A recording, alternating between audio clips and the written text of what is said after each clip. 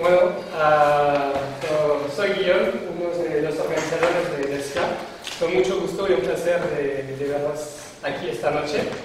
Uh, bueno, hoy vamos a empezar al final una serie de talleres durante toda esta semana. Hoy es sobre el tema de UX con Javier Gara, que será nuestro mentor sobre este tema. Y bueno, antes de, de, empezar en la sesión técnica, quería daros un poco de key numbers sobre el proyecto, porque hoy estamos, pienso, un 20-30 personas, pero hay como más de 60 proyectos para la iniciativa de SCA en Barcelona, que es bastante grande y pienso que, que es un, un éxito. Y, y, aparte de estos 60 proyectos, tenemos 32 mentores con los cuales habéis un poco en contacto a través de la. Um, además, al final de estos keywords a nivel de Barcelona, como lo sabéis, SCA es una iniciativa internacional. So, tenemos hasta el día de hoy siete ciudades que están involucradas en esta iniciativa. Hay Dubai, Helsinki, San Francisco, New York, uh, Santiago de Chile y esperamos añadir más ciudades en la parte de Asia, etc. Entonces, también es un, es un gran gusto de, de ver un poco todo esto. Y, y, ahora me voy a dejar la, la palabra a Javier. So, muchas gracias por vuestra presencia y espero que vais a encontrar esta sesión. Bueno, pues vamos a empezar. ¿vale? Eh, me di cuenta cuando empecé a montar la presentación que no había puesto una slide para presentarme, ¿vale? así que me presento de palabra. Eh, soy Javier Gala, eh, soy diseñador de experiencia de usuario, llevo aproximadamente algo más de ocho años siendo diseñador de experiencia de usuario como puesto exclusivo. He trabajado en Telefónica más D, sobre todo. Ahora soy freelance, o trabajo, soy un pequeño mercenario del diseño. Y llevo los últimos años trabajando en InfoJobs, ¿vale? Eh, para contradecir un poco al presentador, como de costumbre, en realidad la charla, más que sobre UX, que sí que voy a empezar hablando un poquito de conceptos básicos, va a ser en realidad sobre cómo diseñamos un producto, en realidad, más allá de una idea. Y un producto es algo que la gente tiene que usar y que por definición es algo necesario que responde a una serie de necesidades, eh, algo que la gente quiere usar. Porque lo que normalmente nos pasa es que tenemos una pequeña idea y saltamos muy directamente a temas de estructura, de código, de resolver, eh, optimizar la, eh, el software y en realidad es bastante interesante dar un paso atrás y empezar viendo qué narices estamos haciendo, para quién, a quién le estamos cambiando la vida, a quién le estamos resolviendo problemas. ¿vale? Entonces, bueno, el problema de hoy es más o menos este. Como podéis ver, de vez en cuando hay ejercicios. Eh, los ejercicios, como comentaba antes, son en general para resolver en parejas, menos, los, menos el primero creo que es para, sobre todo para, no, el segundo que es para grupos, ¿vale? Un grupo de cuatro más o menos, porque si no en parejas es un poco aburrido, por lo que os recomiendo más o menos acercaros un poquillo. A ver, en el fondo el que quiera, no quiera participar en grupo y quiera su bola, pues tampoco pasa nada, lo entiendo también. Es una, es una posición respetable, pero es mucho más divertido esto si, si trabajamos en equipos, ¿vale? pasando. Eh, vale, entonces, el primer punto es un poco más teórico, un poco más latoso, pero ya veréis que tiene su sentido. Eh, voy a empezar a hablar de la experiencia de usuario, porque yo no sé aquí cuántos de vosotros más o menos tendréis una idea clara de qué es, por ejemplo, la usabilidad. Más allá de eso, ¿cuánta gente tendrá una idea clara de qué es la experiencia de usuario? Os aviso que no pasa nada si no tenéis una idea clara, porque en general en mi campo casi todas las reuniones de experiencia de usuario empiezan con un tema en el que se habla de qué es la experiencia de usuario, qué no es y todo este tipo de cosas, ¿vale? Yo tengo un enfoque personal a la hora de atacar el problema de cómo definir la experiencia de usuario, que vamos a hablar de ello. Lo primero, con lo que yo confío en que la mayor parte de la gente estéis más o menos familiarizados, es la usabilidad. En esto entiendo que la mayor parte de vosotros habéis oído hablar de este concepto alguna vez, y la definición más o menos tradicional, canónica, es la de la ISO, para variar, eh, de que si la eficacia, la eficiencia, satisfacción, habla de tareas, de usuarios. Bueno, en el fondo es una definición muy académica que está muy centrada en las tareas y en el producto, y no mucho en la gente. La idea es un poco comparativa, de medir la eficacia con la que los productos resuelven los problemas de las personas, pero en el fondo lo que se hace mucho hincapié es en el, en el producto en sí, en las tareas. Es bastante impersonal. Esta eh, definición es un poco, da un poco de miedillo y es muy fría. Es la que se usaba en Telefónica cuando yo estaba allí, cuando llegué, incluso por la gente de móviles, porque en el fondo es lo que a todos los, los product managers y a esta gente le encantaría tener, que es un número que te dice lo utilizable que es un sistema, ¿vale? Es como, esto es un ejemplo de extraído de una documentación de Telefónica Móviles, ¿vale? De la usabilidad de un producto. porque es el rollo este de, bueno, tenemos un área, este producto tiene setenta y tantos de usabilidad. Bueno, ¿qué, ¿qué, pasa con esto? Pues que esto, como, perdón, en realidad no es aplicable por nadie. O sea, no, no, no, me sirve de nada. A mí que me digan que esto, o sea, yo veo esta gráfica y no tengo ni idea si esto es usable, no es usable, ¿qué pasa? No entiendo nada. Entonces, al otro extremo completo de, de los temas de usabilidad está un gurú como Steve Krug, ¿vale? Que es este, este señor, que es uno de los mega clásicos, mega clásicos porque escribe este libro, que es un libro muy recomendable a cualquiera que diga, pues la verdad es que no tengo mucha idea de usabilidad y quiero una serie de conceptos básicos fáciles de entender, el, el Don't Me Think sigue siendo vigente. Es muy sencillo, es muy introductorio, pero está muy bien. Sí. Sí, la pasaré las slides. La verdad es que me da un poco de palo porque creo que no he atribuido todas las imágenes, pero si alguien se queja ya las quitaré. Eh, ah, sí, también lo que decía antes, ¿vale? Para los que no habéis estado. Interrumpidme y preguntadme cosas, porque en el fondo es que si no es muy aburrido. También tengo mucha tendencia a hablar rápido, que a cierto tiempo me daré cuenta que me acelero mucho y bajaré el, ritmo, pero me volveré a acelerar de vez en cuando. O sea que también me lo podéis contar. Vale, entonces, lo que os decía es que Krug es un tío mucho más humanista. Mucho más humanista. Y lo que, la forma en la que define la, usabilidad es una forma muy, digamos, de calle, de los de verdad, de los problemas que tenemos la gente. Entonces, lo que dice es que, que, una persona más o menos media, incluso por debajo de la media, pero cuando trabajas con, producto con productos de mucho volumen, eh, como nos pasa a nosotros en InfoJobs. Durante la charla voy a meter muchos ejemplos de InfoJobs porque es en lo que, en lo que he trabajado el último tiempo. Y además, últimamente, el último año más o menos, he estado muy centrado en, en el diseño de aplicación Android. Y en el diseño de aplicación Android hemos utilizado más o menos el, el, procedimiento que os voy a mostrar hoy. Entonces, pues sacaré muchos ejemplillos porque es que al final es lo que, lo que tengo en la cabeza la mayor parte del tiempo. Eh, una persona de habilidad media o por debajo de la media, porque como os digo, cuando trabajáis con, con un volumen muy alto de usuarios, os encontráis que, que, os encontráis de todo. Hay mucha gente que es que de verdad confunde tu aplicación con la competencia. Hay cosas increíbles. A nosotros nos han llamado alguna vez, nos llamaron una vez de soporte pidiéndonos que dónde estaba una cosa del CV. Investigando vimos que estaba usando, creo que Infoempleo o algo así, pero se pensaba que estaba usando Infojobs. Te encuentras con casos increíbles. Eh, ¿Puede entender cómo se usa? Bueno, esto es humano para llevar a, cabo, llevar a cabo un fin. Esto es, tiene una tarea, tiene una motivación para hacer algo en nuestro sistema y sin grandes problemas que le digan que esto no merece la pena. Y esto puede parecer muy tonto, pero en el día a día nos encontramos con muchos productos que de verdad, si no estuviéramos obligados a usar, pues pasaríamos bastante. La usabilidad se enfrenta con problemas tipo este, ¿vale? La usabilidad son, el típico test de usabilidad es poner a una persona delante de esta pantalla y decirle, bueno, mira a ver si consigues eh, reservar un billete de avión para el billete de avión más barato de las, próximas, dos semanas en este, en este producto, ¿vale? Y el hombre va tirando y tal, va tirando millas. En el fondo estamos muy centrados con, mira, esta es mi página, vamos a ver si la gente la entiende, ¿vale? Entonces, vale, guay. Esto es un poco una aproximación rápida a lo que es la usabilidad. Pero, ¿qué es la, experiencia de usuario, ¿vale? ¿Y qué, diferencias tiene con respecto a la usabilidad? Bueno, estamos aquí, ¿vale? Eh, la usabilidad se enfrenta con el problema de esta manera. Para la usabilidad, el problema de comprar unas entradas de avión es este. Se resume en, bueno, vamos a ver si la gente entiende esta pantalla. Para la experiencia de usuario es este, ¿vale? Entiendo que no se va a ver muy bien eh, los retas, sí, más o menos se ve bien, ¿vale? Creo que empieza aquí el tema de comprar unos... Sí, perdón, que igual te doy con el láser. Empieza aquí el tema de comprar el billete, ¿vale? En la experiencia de usuario no nos importa tanto la interacción de un usuario con un sistema de software, digamos. Es algo que asumimos que es un problema que es optimizable, que podemos mejorar y en el que podemos hacer muchas cosas. El gran problema es cómo integramos este uso de software en la vida de la gente para hacer que la vida de la gente cambie y mejore. ¿Vale? Entonces, esta es la rueda, este es un modelo que tiene la gente de Lego para medir la, experiencia de usuario. Básicamente lo atacan dentro de una experiencia compleja y lo integran dentro de una serie de cosas.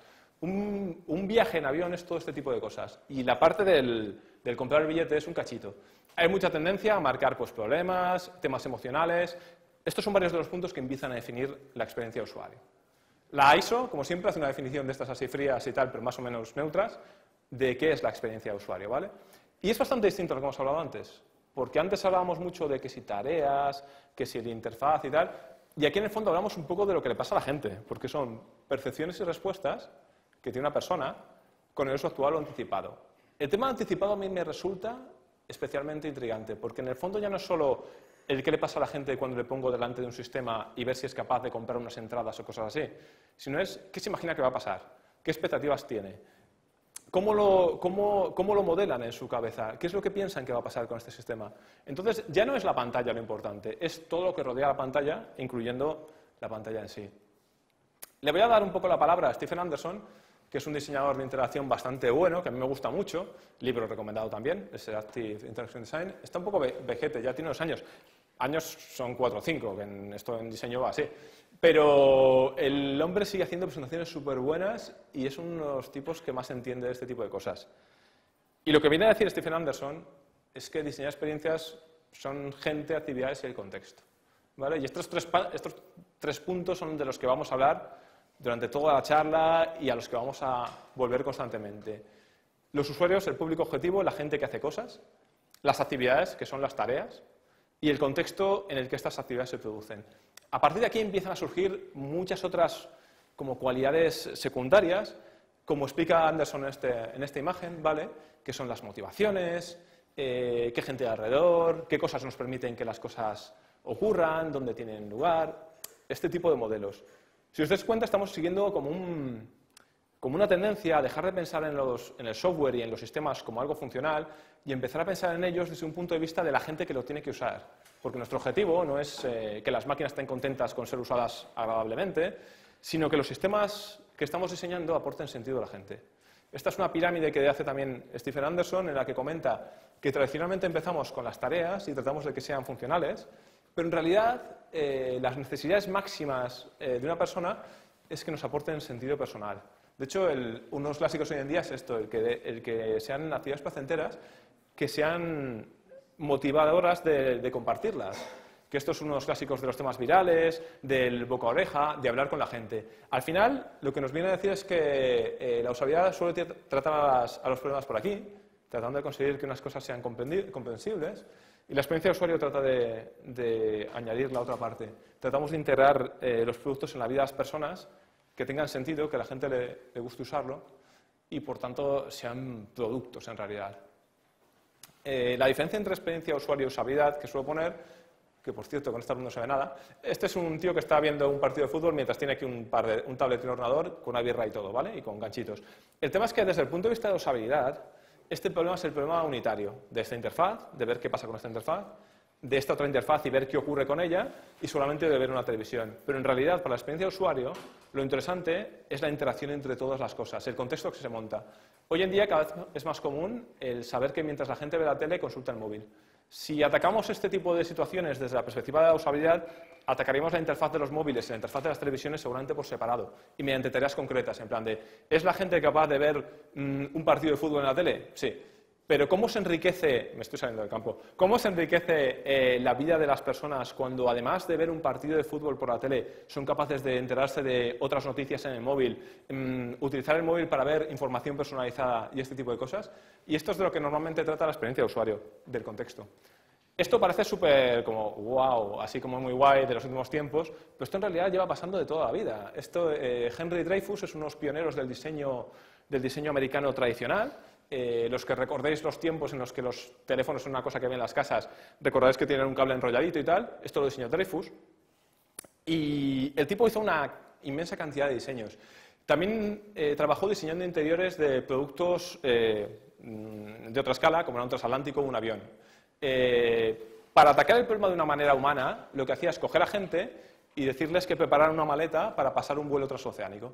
Les llevaba a esta maquetita que se había construido en un hangar de cómo iba a ser el interior del avión y les observaba mientras tanto gente tomando notas, ¿vale? Y entonces se fijaba en cosas como cómo desempaqueta la gente. Bueno, les hacía pasar aquí el, equivalente a la duración del vuelo, ¿eh? O sea, nada de vamos a ver qué tal. No, no, te tienes aquí cinco horas, que es lo que va a pasar en la realidad.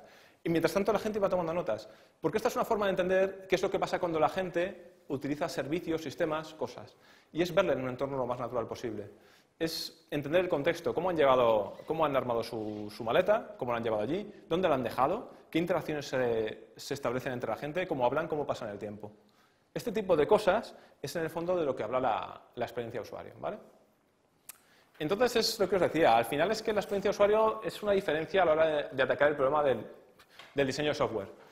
Ya no lo atacamos como algo como pantalla a pantalla o como un problema de si una tarea es fácil de realizar, sino lo atacamos desde el punto de si esta tarea está integrada en la experiencia de la gente, en la vida de la gente, qué problemas puede resolver y este tipo de cosas. Hablamos mucho de eso, de usuario, actividades y contextos. Son seguramente las tres palabras que van a salir a menudo durante todo el resto de la charla. Entonces, ¿por qué os he contado todo esto? Pues por esto que os pongo en pantalla. En mi experiencia, cuando trabajo haciendo experiencia de usuario, la gente me viene con temas del estilo de, uy, es que la gente no usa esta aplicación, la interfaz debe ser muy complicada, es que hacen falta muchos clics para llegar a tal funcionalidad, es que el, menú de hamburguesa no se entiende y tal. Estos problemas existen y a veces es un problema a tratar, pero los problemas complicados no es tanto esto, sino si de verdad lo que esta aplicación ofrece es un cambio diferencial en la vida de las personas. Porque yo estoy muy acostumbrado a utilizar, sobre todo las primeras versiones beta de los softwares que hoy en día forman parte de nuestras vidas, o los hardwares, eran bastante mm, como... Mm, bueno, nos daban una serie de funcionalidades, pero no estaban del todo trabajadas. Por ejemplo, yo me acuerdo el, primer iPhone cuando salió, había mil cosas que no podías hacer, era bastante limitadito, pero te ofrecía un cambio a tu vida que de verdad estabas dispuesto a pasar por todas las chorradas que tenía nuevas, porque en realidad te cambiaba tu vida. Entonces, este efecto polarizador es lo que buscamos con el diseño de aplicaciones. Yo no quiero tanto que en esta charla me preguntéis, aunque si alguien tiene duda, podemos sacar, si el menú tiene que estar arriba, si los iconos funcionan mejor que los textos, sino en realidad si lo que estamos creando es algo que la gente quiere, que cambia la vida de la gente. Y esto es un poco el objetivo, porque además estamos pensando en una aplicación que tiene que estar instalada en vuestro móvil, que tiene que superar el día de vida, que esto no lo consiguen muchas, y esto solo pasa si tienes algo que de verdad cambia tu vida, si de verdad te establece un, nivel cualitativo superior. cambiar la vida no va a ser que de repente transformes tu manera de vivir, pero en realidad son cambios en la vida. Si no, si no pasa que de repente el tiempo dejas de mirarlo por la ventana y lo miras en el móvil, tu aplicación se muere. Si no pasa que la gente deja de ir a la web a buscar cosas y las sigue desde el móvil, tu aplicación se muere. Tenemos que conseguir que los, que los hábitos de la gente, que las cosas que hace la gente cambien. Entonces, este es el problema. Y por eso se da esta pequeña chapa de lo que es la experiencia de usuario. Y ahora empezamos ya con aquí la, la terilla, ¿vale? En el fondo de lo que hemos hablado es de cambiar la vida de la gente. Y la única forma de cambiar la vida de la gente es conociendo a la gente. Y el método tradicional de conocer qué es lo que hace la gente, cómo piensa la gente, y en general todas las ciencias sociales, es hablar con gente. Y esto son las entrevistas. Entonces el tema es, lo que hemos hablado es que ya no podemos hablar de pantallas en concreto, no podemos hablar de flujos separados, tenemos que hablar de una experiencia integradora, de lo que le pasa a la gente en su vida. Entonces, digamos que por resumir esto es muy complicado. Entonces no nos vale el, mirarlos y ver, tomar métricas y cositas de estas, y tomar medidas de tiempo, que es lo que se hacía en tiempos de usabilidad y eficacia y este tipo de cosas. Tenemos que entender a la gente, tenemos que entender pues, cómo es la vida de nuestro público objetivo. Entonces, mm, la forma tradicional de hacer la usabilidad era un poco esto. Se cogía a la gente, se ponía delante de un sistema, se le pedía una serie, que llevar a cabo una serie de tareas muy acotadas para poder compararlas y, bueno, les veía saber y tal, y veías los problemas y todo este tipo de cosas. Esto es lo que os decía, esto está centrado en, en, en las tareas, en el sistema, en ver si la gente es capaz de usarlo y este tipo de cosas. Pero con esto no acabamos de entender cómo es la vida de la gente, simplemente sabemos cómo es la vida de nuestro producto, de nuestro sistema, de nuestra pantalla. Entonces, esto, pues hombre, no es tan útil. Las entrevistas exploratorias es un poco una ampliación del concepto. Os aviso que entrevista exploratoria lo llamo yo y algunos, pero en experiencia de usuario siempre hay mil nombres para, para todo. O sea que si busquéis entrevista exploratoria, a ver lo que sale. En, realidad, entrevistas abiertas o entrevistas de, de validación de conceptos, lo que buscan es entender. Lo que queremos ver es el contexto en el que se producen estas interacciones entre el usuario y nuestra aplicación. Lo que queremos saber es el modelo mental que construyen las personas para entender nuestra aplicación. El modelo mental es una especie de simplificación funcional que hace la gente de cómo funcionan los productos tecnológicos. Por ejemplo, yo cojo un, CD-ROM, lo meto en el, lector y espero que de repente eh, pueda elegir una canción de, de un grupo de ellas porque no me voy a hacer la idea de cojo una unidad grabada con láser, la meto en un sistema, le hace girar a no sé qué velocidad, llega un lector láser y según rebota lee unos y ceros y esto genera un, flujo de datos que pilla un listener. Todo esto no hay Dios que lo entienda. Entonces la gente se hace una aproximación funcional de cómo funcionan las cosas y espera que las cosas funcionen así. Por ejemplo, el sistema de carpetas de Windows. En realidad, obviamente, mm, los ordenadores no funcionan con carpetitas, ni directorios, ni cosas de estas. Esto es una abstracción funcional que le damos a, los sistemas para que lo puedan relacionar con una metáfora del mundo real y que les permita saber cómo funcionan. Entonces, en el fondo, eh, una de las tareas que hacemos mediante las entrevistas de, exploración es investigar el modelo mental de la gente respecto a los problemas. Que es cómo creen que las cosas funcionan, qué espera que, pase, qué espera que pasen si hacemos esto, si hacemos este tipo de cosas. Hacemos este tipo, esta es la investigación. Las preguntas son en realidad bastante abiertas. No es tanto eh, esta tarea delante mío, sino eh, cómo sueles hacer para resolver tal problema, cómo buscas trabajo, eh, cómo has buscado tus anteriores trabajos, la última vez, eh, cómo, trataste de, saber si una oferta es adecuada para ti. Este tipo de situaciones, temas amplios. No vamos directamente a decir, mm, compra un sofá en la web de Amazon. ¿vale? Y el objetivo es entender qué es lo que le pasa a la gente. Eh, los truquillos. Normalmente empezamos por temas generales y acabamos en lo concreto. ¿Cómo buscas trabajo? Bla, bla, bla, bla. La última vez que buscaste trabajo, ¿cómo lo hiciste? Bla, bla, bla. Si yo te pongo delante de mi sistema, ¿cómo buscarías trabajo? Porque así lo que hacemos es no cortar las alas a la gente y permitir que amplíe las preguntas que les hacemos y permitirnos investigar. También la idea es eso, ¿eh? no hablar de, nuestro producto enseguida, en plan, toma, mira a ver si es capaz de usar esto. No, tratamos de ver qué es, lo que hace la gente para conseguir el objetivo. Si utilizan nuestra aplicación para, yo sé, para ver el tiempo, no le empezamos a preguntar, ¿cómo averiguas el tiempo con, a través de tu móvil? No, decimos, ¿cómo te enteras de qué va a hacer mañana? ¿Por qué es importante para ti saber qué va a hacer mañana? ¿Qué cosas cambian en tu comportamiento del día a día según el tiempo de mañana? Estas son las preguntas importantes, ¿vale? De hecho, no sé si conocéis esta aplicación que se llama Umbrella, que solo te dice si mañana tienes que coger un paraguas. Es, eh, básicamente es eso, evalúan un porcentaje de las posibilidades que lleve. Porque la mayor parte de las veces que miras a ver qué tal tiempo hace es para saber si tienes que llevar el paraguas. Pues un, coleguita ha hecho una aplicación para esto.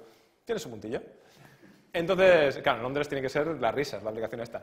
Pero bueno, el, otro tipo de cosas. Saber qué hacer ahora mismo para enfrentarse con el problema, ¿vale? Porque normalmente nosotros queremos resolver un problema, pero normalmente la gente ya lo está resolviendo de alguna forma. Es bastante importante saber qué maneras tiene de resolver el problema. ¿Cuál es el problema en concreto? ¿Qué soluciones aplica? Otros truquillos. El modelo maestro-aprendiz. Esto significa, cuando a veces voy a entrevistar a gente, sobre todo esto es para cuando trabajo con aplicaciones profesionales, este tipo de cosas, que normalmente la gente usa en una oficina y ya tiene como un procedimiento, te vas allí y le preguntas, imagínate que yo mañana entro a trabajar en, en tu puesto. Eh, ¿cómo harías para enseñarme cómo se lleva a cabo? Entonces, es el modelo maestro-aprendiz. Y la gente te dice, bueno, pues yo pillo la información de aquí, copio este dato aquí, lo pego en esta otra pantalla, y te enteras de mogollón de cosas. Y de hecho te enteras muchas veces de, de esta segunda parte, de las soluciones informales, de lo que la gente hace, que en teoría no debería hacer, para llevar a cabo sus tareas y su vida diaria. Este es el clásico de lo de vas a una aplicación y llega un momento en que te dicen, bueno, yo esto lo copio, en el, lo copio en aquí en un documento de texto y lo pego aquí, porque si lo copio directamente no lo pilla o porque mete un carácter raro, historias de estas. Y esto pasa, pero vamos, nos hacéis una idea. Hay mogollón de veces que la gente usa soluciones informales para hacer las cosas. Y esto es, una oportunidad. La típica oportunidad es, ves un tío una solución informal y al instante ya estás pensando cómo lo vas a meter en tu software. Eh, el uso de artefactos, y artefactos no os creáis que es nada raro, es los objetos físicos que usamos en nuestra vida cotidiana para ayudar en nuestras tareas. El clásico es un blog de notas, una nota, un post-it. Esto es muy típico también de, ah, pues esto cuando termino mi, trabajo, cojo y le cojo un post-it, relleno tal dato y se lo paso al de la mesa al lado. ¿Vale? Y esto pasa un montón de veces. Y la recomendación clásica es grabar la sesión, ¿vale? Porque normalmente mientras una persona lleva una sesión es muy difícil estar muy pendiente de, los detalles, de todo lo que la, gente te va comunicando. Normalmente el, el entrevistador está muy centrado en mantener el flujo. Yo casi siempre le recomiendo grabar al menos el audio, ¿vale? Porque de muy malas cuando lo, cuando lo recuperas te acuerdas de un montón de cosas. Lo de grabar el vídeo está muy bien, pero es muy intrusivo, requieres de un tío con una cámara, que ya buena iluminación, es bastante más latoso y además eh, cuesta más que la gente se olvide de aquello. Si tú coges una grabadora, una grabadora de audio al principio de una, entrevista y la pones encima de una mesa, la gente se olvida que da gusto y tú puedes tirar millas y, entrevistar a la gente sin ningún problema. El procedimiento básico de, llevar a cabo la investigación es la entrevista. Eh, yo normalmente cuando hablo de entrevista solo, eh, suelo pasar por cada uno de estos puntos poniendo bastantes detalles y normalmente hablo ya de temas como el guion de las entrevistas, la puesta en escena, este tipo de cosas.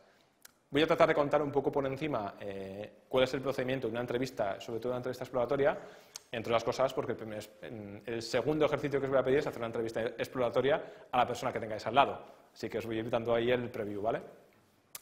Lo primero, que siempre que tengáis que hacer una investigación de este tiro, no os lancéis a pillar a, la primera persona que queréis entrevistar y le tiréis ahí las preguntas, porque siempre hay algo que hacéis mal y siempre hay algo que luego cuando lo haces te das cuenta que no funciona. Lo primero es hacer un ensayo controlado, o sea, con un amigo le haces pasar por esta entrevista que te has planteado. Aunque no lo he puesto aquí, se me ha pasado porque normalmente lo suelo contar con un punto aparte, eh, es conveniente hacer un guion, ¿eh? unas tarjetitas o algo. No tanto las preguntas exactas que quieres hacerle a la gente, sino los temas de los que quieres hablar. Para de vez en cuando echar una ojeadilla y ver que si algún tema no ha ido saliendo en la conversación, lo acabas sacando. ¿vale? Esto es, o sea, ya os digo, y si son, en los test de usabilidad se hacen guiones estrictos de, tareas. En las entrevistas abiertas yo me, hago eso, temas o puntos por los que quiero pasar durante la entrevista. Si alguno no sale, lo esfuerzo.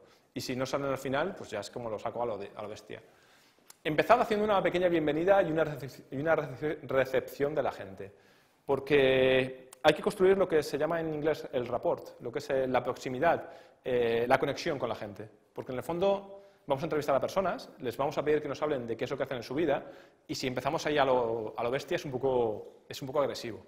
Lo normal es empezar un poco el, planteando lo de, hola, ¿qué tal? ¿Cómo has llegado aquí? ¿Qué te ha parecido? O sea, ¿te ha, te ha costado llegar? ¿Has tenido alguna vez algún ejercicio de este estilo? No te preocupes, es muy fácil. Al principio se trata un poco de rebajar la agresividad que tiene una situación no natural, como que es traer a una persona y empezar a investigar cómo es su vida, básicamente. Lo siguiente es explicar un poco el procedimiento. Y es que normalmente, aparte de una entrevista en la que le vamos a preguntar temas un poco generales, eh, vamos a pedirle que nos muestre cómo usa algún producto, eh, normalmente electrónico, o alguna, cómo lleva a cabo alguna tarea, etcétera. Como lo que queremos saber es su modelo mental y estas cosas normalmente mm, no se averiguan mirando, lo que tenemos que hacer es pedirle que verbalice su pensamiento. Hay mucha tendencia de la gente a no hacerlo y que a cierto tiempo se lo repites, recuerda que queremos saber qué es lo que estás pensando, recuerda que te hemos dicho que pienses en voz alta para saber qué es lo que estás haciendo, etc. Hay gente que recomienda también el, permitir eh, tiempos vacíos y espacios en silencio porque la gente tiende a rellenarlos. Cuando hay un silencio incómodo, si tú te quedas ahí con cara de póker, la otra persona suele tender a darte más información para rellenar ese silencio. Yo, como podéis ver, no me sé estar callado. O sea que tampoco, yo normalmente soy de los de dar así un poco de caña. Lo siguiente es lo que os comentaba. Hay que empezar por preguntas generales para no cortar la exploración, porque en el fondo lo que queremos saber es lo que no sabemos. Si empezamos a atacar a la gente, a preguntarle cómo lleva a cabo ciertas tareas de las formas en las que nosotros ya sabemos que se llevan a cabo, nos vamos a perder una gran riqueza, porque lo que queremos saber es cómo hace la gente cosas que no sabemos, cómo llevan a cabo tareas de las que no tenemos información suficiente. Empezad por tareas, por preguntas súper amplias. ¿Vale? No sé si tenéis algún ejemplo, pero es eso. ¿cómo, lleva, ¿Cómo haces las compras? ¿Cómo, cómo, compras ropa? Pues bla, bla, bla, bla, empieza por no sé quién, le preguntas a alguien, tal, y investigas un poco las, distintas formas que te van contando. Pero no empecéis diciendo, cuando vas a la tienda, ¿cómo buscas cuál es la ropa que te gusta? Porque entonces ya estás cortando una gran cantidad de información y estás suponiendo un modus operandi. Y esto en el mundo real no es así, y hay miles de formas. Lo siguiente, las expectativas. Un clásico de las entrevistas que suelo realizar es, ¿es esto lo que esperabas que pasara? Porque lo que estás esperando son las rupturas del, digamos, del piloto automático. Cuando la gente está en un proceso de flow, de flujo, en el que las cosas van pasando según lo que espera. Si tú ves a gente utilizando software, es muy claro cuando de repente llega algo que dicen, mm, ¿qué ha pasado aquí? Esto no es lo que me esperaba. Ahí es cuando normalmente hay una buena pista para preguntar, ¿qué ha pasado? ¿Es esto lo que esperabas? ¿Qué es lo que esperabas que pase cuando cliques esto? Funciona bastante bien. Esto, por ejemplo, pasa mucho con... Yo, yo hago mucha usabilidad básica también. Por ejemplo, cuando la gente rellena formularios, que es una de esas cosas que nadie quiere hacer, cuando una persona toma la decisión de rellenar un formulario, es increíble lo, bien que lo hacen. O sea, les pones campos y los tíos, si saben las respuestas, van a toda velocidad y normalmente se piensa muy poco, es muy automatizado. Pero normalmente siempre hay un momento en el que la gente se para. Y es cuando les preguntas algo que la gente no sabe. ¿vale? Por ejemplo, un clásico, voy a poner el ejemplo de InfoJobs, como es eh, categoría de tu puesto de trabajo. Vaya palo. Porque es que no hay. O sea, yo sé, que, yo sé de lo que trabajo, pero si me preguntas cuál es la categoría de mi puesto de trabajo, es esto de ¿cuántas categorías hay? ¿Estaré en diseño o estaré en tecnología? Porque diseño tecnología. Este tipo de cosas. Pues ahí es donde la gente se rompe. Ahí es donde hay que preguntar, ¿esto, ¿es esto lo que esperabas? Porque hay una ruptura de las expectativas. Aclaraciones. Hay un método clásico que es lo de los, creo que son cinco porqués, pero en realidad no hay un límite a los porqués. Lo importante es saber qué es lo que hace la gente y no presuponerlo. Porque la mayor parte de las veces tenemos, nos formamos, inferimos lo que está pasando a partir de los datos que tenemos, pero no tenemos ni idea en realidad. Y muchas veces hay que preguntar por qué para asegurarnos, aunque solo sea para asegurarnos. Yo muchas veces digo que, la gente a la que le hago entrevistas se debe pensar que soy imbécil. Porque muchas veces están rellenando un formulario y les pregunto, ¿qué es lo que estás haciendo? Pues rellenar este formulario y tal, o aprieto este botón. ¿Por qué? Hombre, porque quiero llegar al siguiente paso. Pero es que a veces te encuentras con cosas muy sorprendentes, en plan, ¿de qué estás haciendo? Pues estoy apretando aquí porque estoy a ver si, si me dice que el siguiente paso es opcional. Este tipo de cosas. No podemos suponer nada de lo que está pasando porque nuestro objetivo es exploratorio. Y si estamos preguntando a alguien qué es lo que está haciendo, es porque no lo sabemos. Si, no le vamos a pedir que nos confirme lo que está haciendo, para eso no hace falta que entrevistemos a nadie. O sea, para eso me lo supongo yo en casa. Tenemos que aprovechar para pedir aclaraciones de todo. Las preguntas malas, al final. Y por preguntas malas son las preguntas que en teoría no debemos hacer en una entrevista. Preguntas tipo, las dirigidas. Eh, por ejemplo, estoy todo el tiempo deseando ver qué hace esta persona cuando tiene que terminar pagando un producto en una tienda. Pero durante... Sí, por favor, pasa, no te preocupes. Pero durante, la prueba no sale en ningún momento dado el tema de cómo paga. Cómo paga, cómo paga, yo comiéndome ahí. Llega un momento que estás terminándose el tiempo y ya le preguntas al tío, bueno, vale, y cuando tienes que pagar, ¿qué haces? Estas son preguntas dirigidas, porque estás poniendo el foco en un objeto. Y esto te trastoca normalmente todo el resto de la entrevista. Por eso lo haces al final. Como al final ya es que te has gastado todas las... has investigado todo lo que querías, y has explorado todo lo que podías, y ya es como, bueno, tiempo de descuento, las preguntas malas, las que no saben, las que quieres hacer, las que son dirigidas, las que dan un enfoque propio a, la experiencia de la persona, este rollo de, oye, hemos visto que cuando estábamos usando has tenido este problema, mm, ¿te ha fastidiado, te ha molestado? Que es una forma de decirlo. Sí, quiero que me digas que te ha molestado. Este tipo de cosas las hacemos al final porque nos trastocarían toda la entrevista. Si las haces al final como confirmación, como exploración, pues ya no queda nada. Y normalmente preguntas al final al resto de asistentes, ¿vale? ¿Qué quiero decir con el resto de asistentes? Bueno, pues esto. Porque normalmente hacer una entrevista es una cosa que tratas de llevar como una sola persona, pero en la que conviene involucrar a la mayor parte de la gente posible que va a diseñar tu sistema, que trabaja en tu equipo. Porque el ver a la gente usando software o usando tu producto es la mejor fuente de información. Hay, un, hay uno de los típicos gurús de la usabilidad que se llama Jared Spool, un americano que el tío ha hecho un mogollón de trabajo muy interesante. El tío comenta que el mejor elemento que he encontrado que correlaciona con un buen diseño por parte de los equipos es que el equipo pase horas con exposición directa a usuarios utilizando sus productos. Esto es, esto, viendo gente delante de ellos usando su sistema. Esto es lo único que genera empatía directa con la gente. ¿vale? si tú ves una persona delante tuyo usando tu producto, los problemas que tiene, cómo lo enfoca, ¿Qué es lo que se está pasando? Estableces una conexión que no te va a dar nunca un, formulario, un papel, un tío que te cuente lo que ha pasado. Entonces, normalmente se hacen estos truquitos. Yo normalmente, soy este aquí, hago la entrevista a alguien. Eh, es importante centrar la entrevista en un poco rollo diálogo para que la gente no se pierda explicando lo que hace a muchas personas, por lo que normalmente juegas un poco con la exposición de la gente para que te hagan caso, para que el resto de la gente esté detrás. Los elementos más disruptivos los llevas fuera del campo de visión de la gente. Y mientras tanto, eh, tienes a gente que tome notas, pero es que aparte de tomar notas, están escuchando, están entendiendo y están viendo a gente utilizando software, utilizando productos. Entonces, esto es lo que en realidad hace que en la siguiente reunión en la que habléis de qué es lo que debemos de hacer, la gente tenga información real. Ya no es el rollo de, bueno, creo que debemos poner esto aquí, esta funcionalidad está súper bien. No, han visto problemas, han visto a gente usándolo y ya el diálogo tiene otro estilo. ¿vale? Eh, la siguiente recomendación. Cuando termina una entrevista, se hace el análisis al momento. ¿vale? Como podéis ver, no me he cambiado de, de Y el tema es eh, hablar de las cosas que has visto en este momento, que están frescas en tu memoria y, de las que, y que puedes explicar.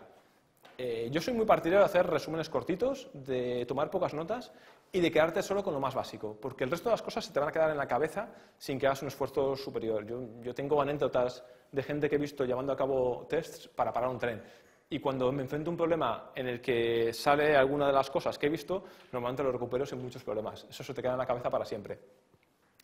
Os recomiendo mucho, aunque yo soy un tío que piensa visualmente fatal, dibujar para explicar las cosas que has visto. Porque dibujar te obliga a externalizar tu pensamiento, a, darle forma, a empezar a hablar de, interfaces, de pantallas, a enfocar en cosas. Y esto al, final no, lo importante no es el dibujito que hagas o la calidad de, lo que, de la pantalla que diseñes en un momento a abuela pluma, sino es la calidad de lo que compartas. Y es que las personas somos muy malas teniendo la misma opinión o teniendo la misma idea sobre un problema. Entonces, dibujarlo es una forma genial de compartir las opiniones sobre, los problemas. Y la cosa que suelo comentar mucho también es el tema de los sesgos, los sesgos cognitivos, ¿vale? ¿Qué son los sesgos cognitivos, así a grandes rasgos? Bueno, esta es la lista de sesgos cognitivos que hay en la Wikipedia, ¿vale? Con lo que más o menos hacéis una idea que hay unos cuantos. Son desviaciones sistemáticas del pensamiento racional normalmente son adaptaciones cognitivas a la hora de entender el mundo. Esto es, son como atajos cognitivos que toma, que toma nuestro cerebro para entender el mundo, que normalmente funcionan muy bien para disminuir el coste del pensamiento, digamos, pero que funcionan muy mal en, ciertas situaciones. Y en, los test de, en este tipo de entrevistas hay dos situaciones especiales que son problemáticas con los sesgos cognitivos. El primero es la heurística de disponibilidad, que tras este nombre lo que oculta es que si tú, digamos, la información que es muy fácil de traer a la mente, la, sobrevaloras. El caso típico, si acabas de ver una persona utilizando un producto y teniendo problemas con algo, como lo acabas de ver y como has establecido una conexión emocional con esta persona y le has visto sufrir mucho, sobrevaloras lo que acabas de ver. Lo típico es que cuando la gente sale de ver un usuario por primera vez, sale diciendo, uy, hay que arreglar estas tres cosas, porque lo ha visto pasar delante suyo por primera vez. Pero en realidad, un investigador lo que hace es decir, vamos a ver la importancia relativa que tiene el observado. Vamos a ver si tenemos métricas de la cantidad de veces que ocurre. Vamos a ver si es la cosa más prioritaria que tenemos que resolver. ¿vale? Esto es, algo que acabáis de ver es normal que os dé muchas ganas de arreglar. Es un sesgo cognitivo. Hay que pensar fríamente si esto es lo más importante que hay que hacer en este momento. El segundo, el sesgo de confirmación. Este me encanta porque es más típico de, jefes de, producto y cosas de estas, ¿vale? Que es que la gente normalmente eh, adapta lo que ha visto en los tests y en las eh, entrevistas a confirmar su pensamiento previo. ¿Vale? Esto, es, o sea, esto lo sabemos todo el mundo, que normalmente traes un jefe a una entrevista y te está diciendo, ¿ves, ves lo que yo te decía? Este tiene, un problema aquí. Esto es una tendencia que tenemos todos, ¿vale? El tema, yo normalmente también, o sea, caemos todos. Lo típico es cuando tú ves un test que confirma una expectativa previa, eh, lo que tienes que hacer como investigador es replantearlo, es volver a plantear fríamente cuáles son las evidencias que apoyan este conocimiento previo. Y de hecho es, como mala señal. Yo cuando veo una entrevista y salgo diciendo, joder, me ha confirmado lo que creía, es señal de que normalmente hay algo que, que no ha funcionado muy bien. Otro de los temas importantes a la hora de hacer entrevistas, que pasa bastante cuando uno es así primerizo, es la confianza que tiene lo que la gente dice. No porque la gente sea muy malvada, que, puede que también, sino porque la gente tiene tendencia a, no ser muy, digamos, a expresarse de una forma distinta, a, tener una visión idealizada de cómo es su vida. ¿vale? El ejemplo clásico es un estudio que hicieron de hábitos alimenticios, en los que hacían un test estandarizado de preguntando a la gente si comía verduras, si comía sano, qué dieta tenían, y, y luego iban al frigorífico de la gente a ver qué tenían dentro. Y lo que encontraban es lo que encontrarían en cualquier frigorífico moderno, que era pues, comida precocinada, eh, que de vez en cuando se iban al McDonald's, este tipo de guarradas. El problema es que, digamos, nosotros tenemos, eh, por un sesgo cognitivo también, porque tenemos que mantener una visión idealizada de lo que somos, tenemos tendencia a no reportar correctamente lo que hacemos. Entonces, lo que yo suelo hacer, cuando veo a alguien hacer algo delante mío, normalmente me lo creo, pero le pregunto con qué frecuencia lo hace. Porque al final no sé si esto lo ha hecho solo porque estoy yo delante, lo hace cada miércoles o lo hace constantemente. Cuando me dice que ha hecho algo, pero yo no lo he podido ver, le pregunto que cuándo ha pasado. ¿Vale? Porque esto es, esto es un clasicazo, el de, sí, yo voy mucho al gimnasio. ¿Cuándo? Bueno, la última vez en, septiembre. Este tipo de cosas, ¿vale? Y ya esto. esto el, cuando alguien te dice en una situación hipotética lo que haría, esto es, o sea, no tiene normalmente ninguna capacidad predictiva, porque lo que estamos tratando de, de entender es qué es lo que hace la gente en sus vidas y predecir qué es el comportamiento futuro que va a tener la gente en sus vidas. Y el tema es que en situaciones hipotéticas de hecho, también hay un sesgo cognitivo que hace que cuando le preguntamos a alguien si cree que haría algo en una situación determinada, se imagina situaciones, se imagina una posibilidad en la que esta situación digamos, es posible. O sea, que cuando le preguntamos a alguien si usaría algo, normalmente la mente elabora un escenario en el que esto es posible. Y normalmente nos dicen que sí. Entonces, eh, la fiabilidad predictiva de las expectativas en situaciones hipotéticas es poco más o menos que nula. Esto lo decía Matt Gebel en un tuit hace poco, que es, si me comprara una smartwatch sería un pivot, pero si me comprara zapatos de tacón serían púrpuras. O sea, es que no tiene ningún sentido. Es una situación hipotética en la que no me encuentro y no evalúo en ningún momento en realidad el problema. Simplemente estoy evaluando, generando una idea que completa lo que lo que le hemos propuesto. También otro de los clásicos cuando hablo de estas cosas delante de un auditorio, normalmente cuando son ingenieros además. Eh, ¿Esto es estadísticamente fiable o relevante? También científicos tienen mucha tendencia a esto.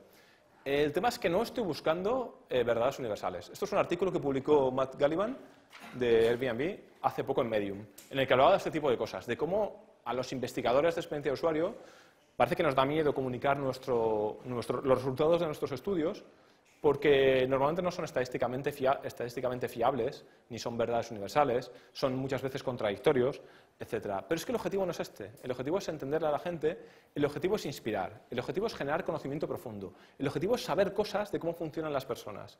Entonces, nosotros no tenemos por qué generar un conocimiento relevante estadísticamente, sino queremos mejorar nuestro proceso de diseño. Y en este sentido, lo que vamos a observar nos va a permitir que esto ocurra. Lo último que os quería comentar, antes de empezar con el primero de los ejercicios, es que más barato que probar un producto que todavía no existe es probar un producto que ya existe de la competencia, ¿vale? Entonces, como la mayor parte de la gente que estéis aquí seguramente tengáis una idea de yo quiero hacer un producto que hace tal cosa y tal, seguramente sabréis alguien que trate de atacar el mismo problema. Entonces, antes de hacer vuestra primera versión y arriesgaros a, a pegárosla contra todos los problemas que tenemos todos, probad el producto de la competencia. Coged una persona y mirad a ver cómo lo usa. Porque esto os da una aproximación de cómo ataca la gente el problema. Eh, qué soluciones de las que propone vuestra competencia funcionan mejor o peor. Y esto funciona súper bien. El, evaluar los productos de la competencia es una prueba gratis de prototipos de vuestro futuro producto. Y después de esta pequeña chapa y para que yo pueda beber un poco de agua, vamos a hacer el primero de, los ejercicios, ¿vale? El más apasionante, el test de usabilidad clásico y tradicional. Bueno, os propongo una tarea, ¿vale? Es lo que os decía. Recomendable, grupos de dos, ¿vale? No pasa nada si alguien no quiere participar, no pasa nada si en algún sitio sois tres o cuatro. Distribuiros un poco, ¿vale? Pero, como siempre, mirad a ver si tenéis alguien que os pueda ayudar. El objetivo, eh, buscar una tarea muy concreta, una habitación en, si a alguien no le gusta rumbo.es especialmente, mm, Booking, cualquier alternativa me vale, lo que quiero es que sea una tarea concreta, y en este caso esta, eh, la que viene aquí, buscar una habitación de hotel para ti y tu pareja el próximo fin de semana, viernes y sábado, con, en Valladolid, algo que tenga wifi cerca de la estación de tren. Presupuesto alrededor de 150 pavos, y debe ser cómodo. Como supongo que casi todos tendréis móviles, os recomiendo hacerlo en un móvil. Los que no, si tenéis una tablet, si tenéis un ordenador, la verdad es que me viene a dar lo mismo. Pero, please, os quiero a todos probando a evaluar con la persona que tengáis cerca qué es lo que hace. Os, tenéis que distribuir los roles, ¿vale? Una persona es la que lleva a cabo la tarea. El otro es el que entrevista. La tarea del entrevistador es poco más o menos que la cosa fluya. Mm, le recuerdas la tarea, le pides que la lleve a cabo, le dices que piense en voz alta, le vas animando a que haga cosas. Si bien tiene un montón de dudas, me preguntáis y os enseño, no tiene ninguna emoción. Lo importante es que le pidáis a alguien que haga algo delante vuestro y que le veáis. Mientras tanto, os quedáis calladitos. Aunque se metan en el mayor de los problemas, tú te quedas con cara de póker y di, uh querías ahora. Este tipo de cosas, ¿vale? Bueno, pues son y 40, el objetivo es ahí 50 que terminemos. Vamos a ver...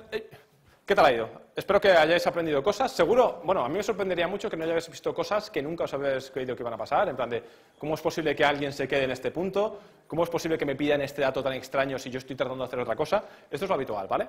Entonces, ¿qué tienen los test de usabilidad? Porque lo que, lo que habéis hecho ahora es una especie de test de usabilidad y a lo, a lo bestia, ¿vale? Eh, son muy artificiales porque normalmente tienen un propósito de comparar resultados, ¿vale? Son bastante, como habéis visto, el, foco es la tarea. Es buena la tarea, qué tal de fácil es hacerla, etc. Hay una obsesión de medir y todo ese tipo de cosas, ¿vale? Entonces son cosas muy, muy concretas para poderlas comparar. El tema del, contexto, porque en el fondo estáis buscando una cosa que a la mayor parte de vosotros ni os va ni os viene, porque no creo que vayáis a ir a Valladolid en la vida, eh, es, a cambio lo que tenéis son métricas, cosas medibles. Esto es, eh, cómo de fácil es realizar una tarea estandarizada. Porque si cada uno hubierais buscado eh, ir al sitio que os gusta, cada uno perdería más tiempo, uno porque crearía un pueblo, otro porque querría hacerlo en lancha. O sea, habría salido una gran cantidad de escenarios que no podemos comparar ni evaluar. Entonces, los test de usabilidad tienen este tipo de cosas. La pregunta clásica, de los que habéis visto vosotros, ¿cuántos de aquí han finalizado la tarea con éxito? Please, levantad la mano. ¿Ha habido algún humano que lo haya conseguido? Vale. Lo que, pasa es esto, o sea, lo podemos, lo podemos medir, ¿vale? O sea, hay un resultado medible fácilmente comparable. Esto es, mm, cinco personas de 20 han conseguido llevar la tarea en 10 minutos. Esto es lo que tiene ustedes de usabilidad, es este tipo de obsesión por medir las cosas. En cambio, las entrevistas exploratorias tienen otro rollete muy distinto, que vais a comprobar enseguida. Porque el siguiente ejercicio es una entrevista exploratoria, modelo express ahí patatero. Repetid los grupos, please, pero cambiad los roles. O sea, el que preguntaba va a ser que el preguntado, etc. Y esta vez vamos a hablar de una cosa amplia, de una cosa general. Lo que queremos saber es cuál es, el modelo mental que tiene la gente, cómo hace tareas, eh, en qué cosas piensa, en qué cosas se para, qué soluciones tiene a un problema clásico entre los problemas. Cómo preparar un viaje de vacaciones. Eh, yo os pediría que sea, o sea, pensar en un viaje de vacaciones en general de cuando vas con la pareja, con amigos, que no sea que vas tú solo, porque normalmente es un poco, es demasiado fácil. Y esto es lo que tenéis que preguntar. ¿Cómo es preparar un viaje de vacaciones para una persona? Temas importantes. O sea, ¿cuáles son las cosas que de verdad le parecen clave? ¿Qué es lo peor que tiene? Los pain points, las cosas que son horribles. ¿Cómo fue la última vez que, le pasó? Porque esto os da un mogollón de información real. ¿Qué pasó? ¿Qué pasó? ¿Y luego qué hiciste? Etcétera. Pues señores, a ver, son las... ¡Uy! Son las 52. Hasta las 6 más o menos para hacer la segunda parte del ejercicio, que es esto de los... de, lo, de la pregunta exploratoria, ¿vale? mismos equipos, preguntas abiertas. Entender, se trata de entender a la persona. No hay un objetivo de saber si lo lleva a cabo bien, mal o regular. Aprender. Vale, ¿qué os quería comentar sobre esto? Entiendo, y espero que me, miréis así con cada aprobación, que la situación ha sido muy distinta esta segunda vez. Que el tipo de cosas de las que habéis hablado, la información que habéis obtenido, la conversación que se ha establecido es muy diferente. La idea es que con esta segunda conversación empecéis a entender a la gente, no tanto a la interfaz ni al sistema. Lo importante es saber qué hacen las personas, cómo viven, cómo es su vida, cómo se enfrentan con los problemas, qué hacen cuando tienen un problema como el que estáis tratando de resolver con vuestra aplicación. Y esto es una fuente de información muy, muy buena. ¿Qué tienen este tipo de, entrevistas? Eh, uy, ¿esto? Ah, vale. Sí, lo importante en este caso es entender a la gente, ¿vale? Y entonces, ¿cuándo aparece el problema que queréis resolver? ¿Qué cantidad digamos que, ¿cuánto les molesta en realidad? Porque lo que, lo que veréis es que a veces estáis resolviendo un problema que a la gente no le importa. Esto es, eh, pues no sé, yo qué sé, una aplicación para atarse los zapatos. O sea, cualquier cosa de estas que en realidad la gente, cuando tiene un problema, vive con ello y ya le vale. Entonces, no hay nada más triste, esto me acuerdo hace poco leía un tuit, que no hay nada más, más triste que resolver perfectamente un problema que a nadie le importa. Entonces, esto es lo primero que tenéis que entender. Si la gente vive con vuestro problema y no invierte tiempo o dinero en arreglarlo, es un mal sitio para poner una aplicación. También el problema que tiene es que si yo ahora os pregunto, igual que hice al final de la otra, ¿cuánta gente aquí ha entendido a, la persona con la que hablaba? Es mucho más complicado evaluarlo. Yo puedo saber fácilmente si una persona ha completado una tarea, pero es muy, muy complicado saber hasta qué punto he entendido a alguien, qué partes se me han pasado. El problema que tiene la, la investigación de experiencia de usuario es que es muy difícil de medir, es muy difícil de analizar, es muy difícil de contrastar. Y, y, es lo que os decía, vamos a sacar insights, ideas, vamos a poder comparar cosas, pero no vamos a tener una medida que nos diga si nuestro sistema o, si la forma de actuar de esta persona es cualitativamente distinta a la de otra. Oye, yo lo que igual sí que venía bien es que quitaréis la luz de aquí en medio, ¿eh? porque la verdad es que el contraste es un poco... ¿Alguien sabe dónde está el interruptor? ¿Hacemos un poco de crowdsourcing? El de arriba. A ver, vale, ya tiro. Eh, vale, entonces... Pues el de arriba no era. Bueno, vale. Entonces, después de lo que hemos hablado, hemos empezado a entender a la gente. Y ahora lo que vamos a tener que hacer es modelar a la gente. Y para ello, esto de personas es el, término americano, ¿vale? No se refiere a lo que nosotros llamamos personas. Es una técnica clásica de experiencia de usuario.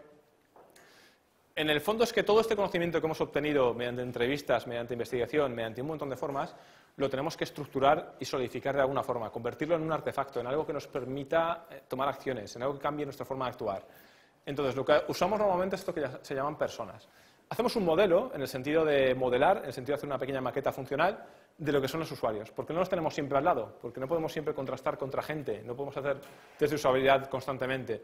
Lo que hacemos es crearnos una especie de usuario de mentirijillas para probar con él constantemente.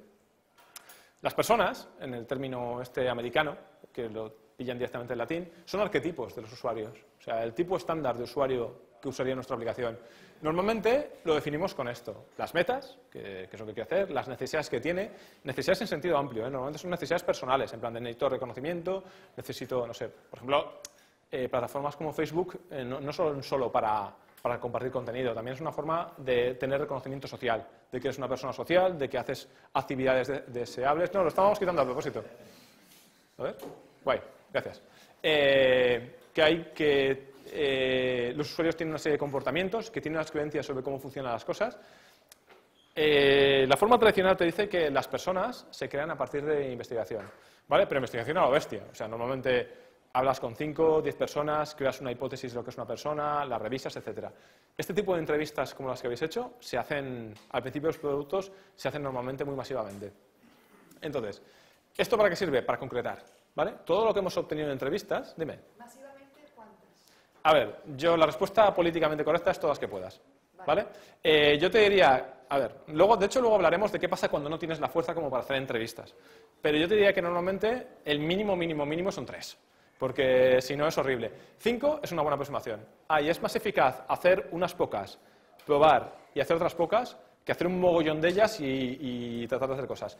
Entre otras cosas porque analizar grandes cantidades de información cualitativa es la muerte. o sea, te tiras ahí la vida, no sabes qué hacer. Cuando tienes pocas cosas puedes concretar más y refinarlo es más fácil. ¿vale? Yo, es que, yo hago muchos de estos, muchos de estos, trato de estandarizarme en cinco. Cinco es un número bastante majo para empezar a tirar.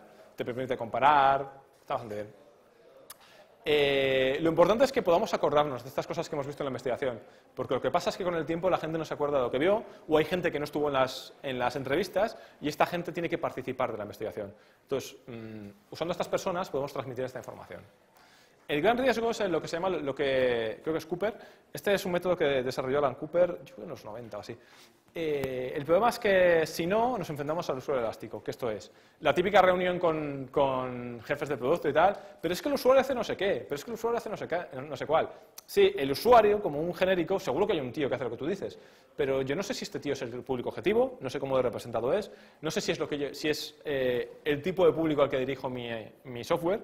Entonces, creando una serie de personas objetivo, nos evitamos el rollete de ¿la gente hace esto? No ¿Este arquetipo de usuario que hemos creado creemos que haría esta tarea que tú dices? Pues no, no le pega. Tenemos un arquetipo que sea mm, el mochilero. ¿El mochilero mm, iría a buscar hoteles de cinco estrellas en Booking? No, haría otra serie de cosas. Esto es, una, esto es una forma de tomar decisiones de diseño, de priorizar y de saber si las cosas tienen sentido para una persona. Lo típico es hacerlas en equipo, ¿vale? Normalmente, la gente que ha participado en las entrevistas o que tiene acceso a estas entrevistas de forma grabada, hablando con gente que sí ha participado, eh, se junta y va estructurando la información que hemos encontrado hasta crear una especie de personalidades coherentes. Esto es, mmm, empiezas a ver toda la información que sale. Digamos, cuando haces una serie de entrevistas salen patrones, empiezas a ver comportamientos que se repiten. Y normalmente ves patrones que pegan bien juntos. En plan, de este patrón va muy bien, la persona que busca mm, campings va muy bien con la gente que busca actividades gratis, va muy bien con la gente que tiene esta serie de cosas, va muy bien con gente joven, va muy bien con estudiantes. Y poco a poco se va creando una personalidad coherente que puedes agrupar y que te sirve como esta especie de arquetipo de usuario contra el que probar y contra el que ver si las cosas tienen sentido. ¿Vale? ¿Estás creando? Dime. Esto, ya os digo que la teoría es tienes que investigar. ¿cuál, es, ¿Cuál es, el, conocimiento? Sí. Dime. Has englobado ahora una serie de cosas que yo también englobaría. Dime. Y que no me haría falta una entrevista, o sea, hacer un, una experiencia de usuario para... Pero ahí está el problema. Pero es que está el problema, que muchas... Yo normalmente uno evalúa los sistemas en base a la experiencia propia. Pero mi experiencia es que normalmente la experiencia propia eh, es más o menos un cachito pequeño de la experiencia personal de un montón de gente. Es increíble, la, yo, es que esto de verdad... Eh, ¿Eh? Sí, bueno, tiene muchas cosas. Eh, Cooper, cuando, cuando, inventa este tipo de cosas, lo que dice es que los diseñadores de software conocen el software muy bien, con lo que es muy complicado que diseñen para otras personas que no lo conocen tan bien. Comenta que las personalidades tipo de los desarrolladores y diseñadores, por ejemplo, entre los diseñadores de Apple estaba sobre representados los introvertidos, ¿vale? Porque es el tipo del diseño lleva más a este tipo de gente. Entonces, los introvertidos no son muy buenos diseñando interfaces para, extrovertidos, a menos que consigan información de este tipo de cosas. El tema es que nosotros tenemos una visión muy limitada y a base de ver gente eh, la amplías mucho. Esto, eh, yo me acuerdo que había un, tío que decía que diseñar un producto para gente, para el público en general, es como pedir una pizza para mil personas. O sea, tienes que conseguir convertirlas en, unas, en, menos, porque si no es imposible gustarle a mil personas. Hay gente que el autodiseño, que en el fondo es yo creo que conozco a mi público objetivo porque yo formo parte más o menos de él, y diseño para mí, es un tipo de diseño y hay gente que le va bien. Pero solo te va bien si tú estás muy, si tú diseñas un producto para, para gente como tú. Y aún así ganas mucho viendo gente. En mi experiencia, a mí me ha tocado muchas veces ser el primer tío de experiencia de usuario en un equipo de desarrollo, ¿vale? E incluso en una, en una sede de Telefónica y más de. Eh, yo normalmente lo que hacía es grabar el software que ellos estaban diseñando y como gente que ellos, mm, o sea, gente distinta, usaba ese software. Siempre la gente cambia de idea y flipa con cómo la gente usa el software. Nadie se puede imaginar cómo lo usa. Esto, esto funciona súper bien. Sí. No hablamos de las sensaciones que provocamos en el otro o la capacidad de relaciones. Es que parece que pensamos en cómo son las personas, en reafirmar la realidad. Sí. Ah, no. más que en provocar. Sí, lo que queremos hacer, lo que queremos hacer con el diseño de experiencia es entender. Normalmente entendemos cómo las personas eh, se enfrentan a un problema dentro de la experiencia integral que es su vida. ¿vale? Esto es, tenemos que ver cómo es la vida de la gente, cómo es la vida de las personas y a partir de allí hacemos modelos para ver cómo tratarlo. Porque, digamos, Hablar de la vida de la gente sin modelarla es muy complicado, porque la vida de la gente o las personas es un continuo, con millones de personas que tienen formas de entender las cosas distintas. Hacemos un muestreo de esta gente y creamos modelos a partir de ese muestreo. Sería una aproximación un poco científica a lo que te cuento. Yo te diría que es que, o sea, porque, digamos, creo que la tesis que tienes es que si tú conoces muy bien a tu público objetivo, no te hace falta entrevistar. No, no, simplemente parece que eh, la experiencia de usuario se centre en conocer la realidad en ella y no en el estudio de lo que provoca. O sea, de, lo que puede producir ah, el cambio. esto o hacer esto. ¿Sabes? Sí, cambio, ¿no? El sí. hacer las cosas. Es que el tema es que normalmente tú, o sea, digamos, la experiencia de usuario, más en un, en un contexto lean, que es lo que se trabaja ahora, es lo primero que tienes que saber es si tu producto tiene sentido. Y para eso tienes que ver si tiene sentido en la vida de la gente. Y hasta que no lo investigas no, es muy difícil tener una idea a priori. Una vez que ya tú creas, o sea, tú lo que dices es que en el fondo estás trastocando la experiencia de la gente con tu producto, ¿vale? Y para eso, y eso también se modela. Digamos, unas cosas que haces luego es evaluar cómo quieres que tu producto cambie la vida de la gente, ¿vale? Y cómo vas a conseguir que eso, se- que eso pase. Y esto es el final de la charla. Pero bueno. Eh, luego sí que profundiz- profundizamos en el tema, ¿vale? Lo que me voy a contar es que veamos esta especie de modelos de cómo es la gente, para reducir estos miles de personas este continuo a, una- a un pequeño muestreo que es como manejable, porque lo que pasa es que digamos la complejidad es mucho más complicada de manejar que una serie de cosas concretas. Aparte que la idea es, es compartir información. Si compartimos la información de, de todas las entrevistas desglosada, nadie la entiende, es muy complicado estructurarla. Si compartimos este, este artefacto que es la persona, es más fácil de entender. Lo que suelo hacer es modelar este tipo de usuarios y tener unos pocos. Se suele decidir que unos pocos de estos modelos son nuestro público objetivo principal, esto es, a esta gente le quiero vender este producto, o este tío es necesario que utilice nuestro software o nuestro producto para que nuestro sistema funcione, y hay otra serie de personas secundarias en plan de, este también me gustaría que exista, y a veces incluso se usan modelos negativos, de este tipo de persona no es el público objetivo, lo que decíamos antes. Hago una aplicación para tíos que van de camping, eh, los tíos que se van a un hotel de 5 estrellas no son mi público, objetivo. Con lo que mi diseño tiene que ser el tipo de diseño que a estos tíos no les va. Porque también nos interesa, digamos, atraer a la gente que queremos y no a los que no queremos. Lo que normalmente se hace es este tipo de ejercicios, que es un diagrama de afinidad. Básicamente, tomamos un montón de notas de lo que hemos visto en los tests, los empezamos a agrupar. Cuando te salen grupos, se detectan temas. O sea, alguna cosa de la que tenemos mucha información que, por lo tanto, normalmente es que es un tema importante de, de nuestro producto. Y normalmente, profundizando en los temas, encontramos patrones. O sea, ¿cómo busca, ¿en qué contexto busca la gente ofertas de empleo? En una serie de contextos. Normalmente hay unos cuantos que se pueden agrupar y convertir en uno solo. ¿En qué contexto es? Pues en el móvil cuando están en el metro, en casa cuando están viendo la tele. Empezamos a encontrar patrones que empiezan a ser agrupables. ¿Qué hacemos con todo esto? Pues normalmente la gente hace representaciones bastante visuales como esta, ¿vale? Esto es un ejemplo de lo que es un, es un modelo, es una plantilla, de lo que es una persona para, para una de las personas que hace este tipo de, de modelos. Con este tipo de aproximaciones, lo que os he dicho a las personas, hay plantillas casi tantas como empresas en el mundo y como personas. Esto es un ejemplo muy visual. A mí la verdad es que no, yo soy más de letras, obviamente. Y esto es un ejemplo de Razorfish, que es unas eh, consultoras típicas de experiencia de usuario. Es, bueno, aquí nos habla de qué cosas, cuál es su, su pasado. Normalmente suele incluir alguna cita, un escenario de uso. Es información obtenida de las investigaciones, ¿vale? Este es otro ejemplo, ¿vale? De, de Bolt and Peters. Este, eh, Nate Bolt es uno de los, era uno de los managers de, de investigación de Facebook.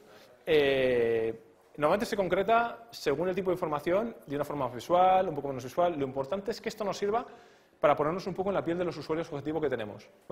Cuando se usan personas trazadas en plan dibujadillas, suele indicar que la información que tenemos no es muy fiable. Es como una tradición en el sector. Se usan fotos cuando normalmente estás muy basado en investigación y se suelen usar aproximaciones más sketchy cuando tu información no suele ser tan fiable. Las personas tienen una serie de características comunes, ¿vale? Sueles ponerle un nombre, una edad, un sexo, se suele poner una foto. Esto es básicamente para hacerlas memorables, ¿vale? La idea no es ser científicamente acertado o generar anécdotas sobre la persona, sino tratar de condensar la información que tenemos. Se suele hacer una descripción, en plan de, por ejemplo, yo qué sé, nosotros en, en InfoJobs teníamos algunos modelos de persona y uno era el, eh, el, perfil de informático típico que busca trabajo, que normalmente las empresas van a por él, que no suele tener que buscar mucho, que se entera de puestos de empleo, otro es el mecánico, que tiene que enterarse normalmente por el boca oreja de dónde hay un puesto. Hay normalmente una pequeña descripción, es el mecánico, es el, que trabaja con las manos, algo que le caracterice y que permita que podamos compartir esta información con el resto de la gente.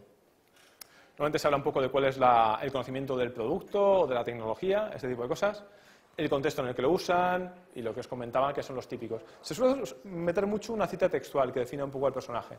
A mí me preocupa un poco que a veces la gente elabora demasiado a partir de su idea ideal de lo que es el usuario e introduce mucha ficción. Yo normalmente soy muy seco.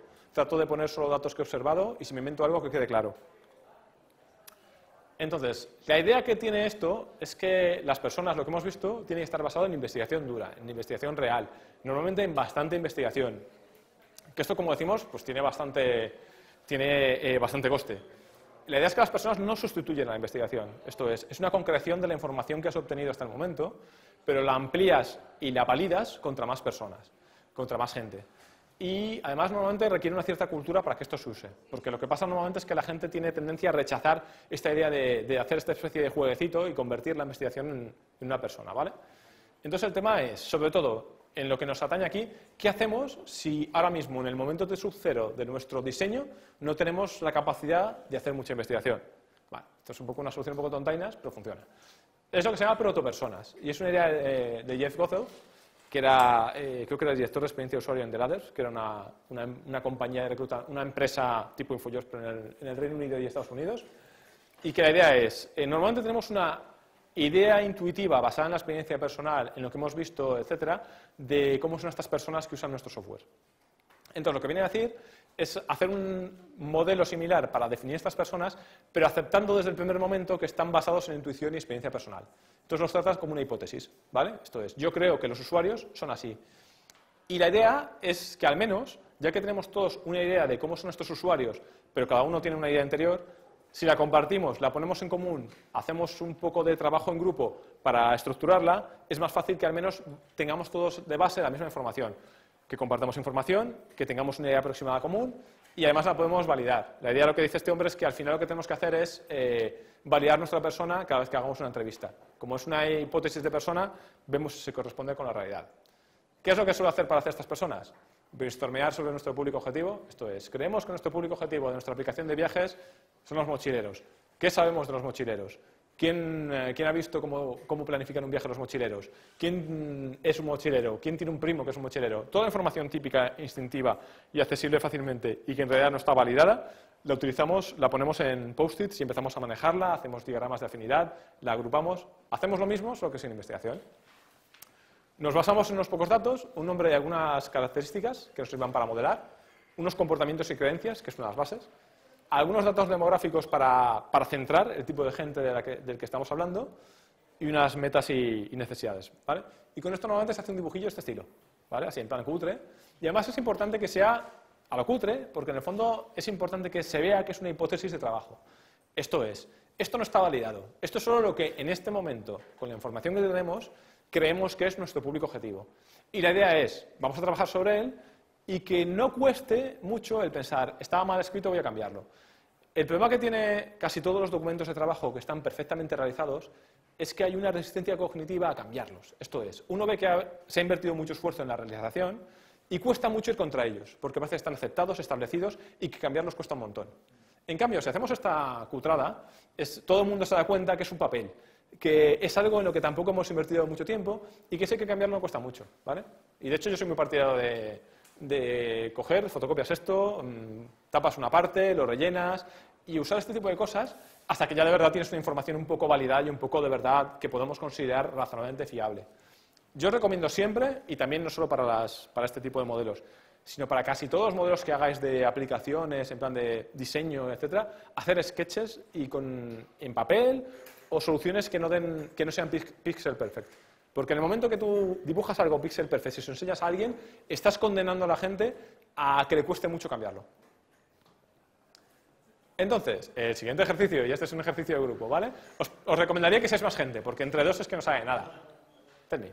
Una pregunta que supongo que es más de la primera parte. Dime. Porque la cuestión estás, estás explicando de que tú haces las entrevistas. Sí. Para luego construir unos arquetipos. Sí.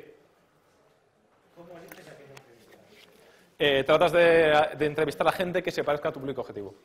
El que se parezca, la tradición nos dice que es empieza con lo que puedas y con el tiempo vas, afinando.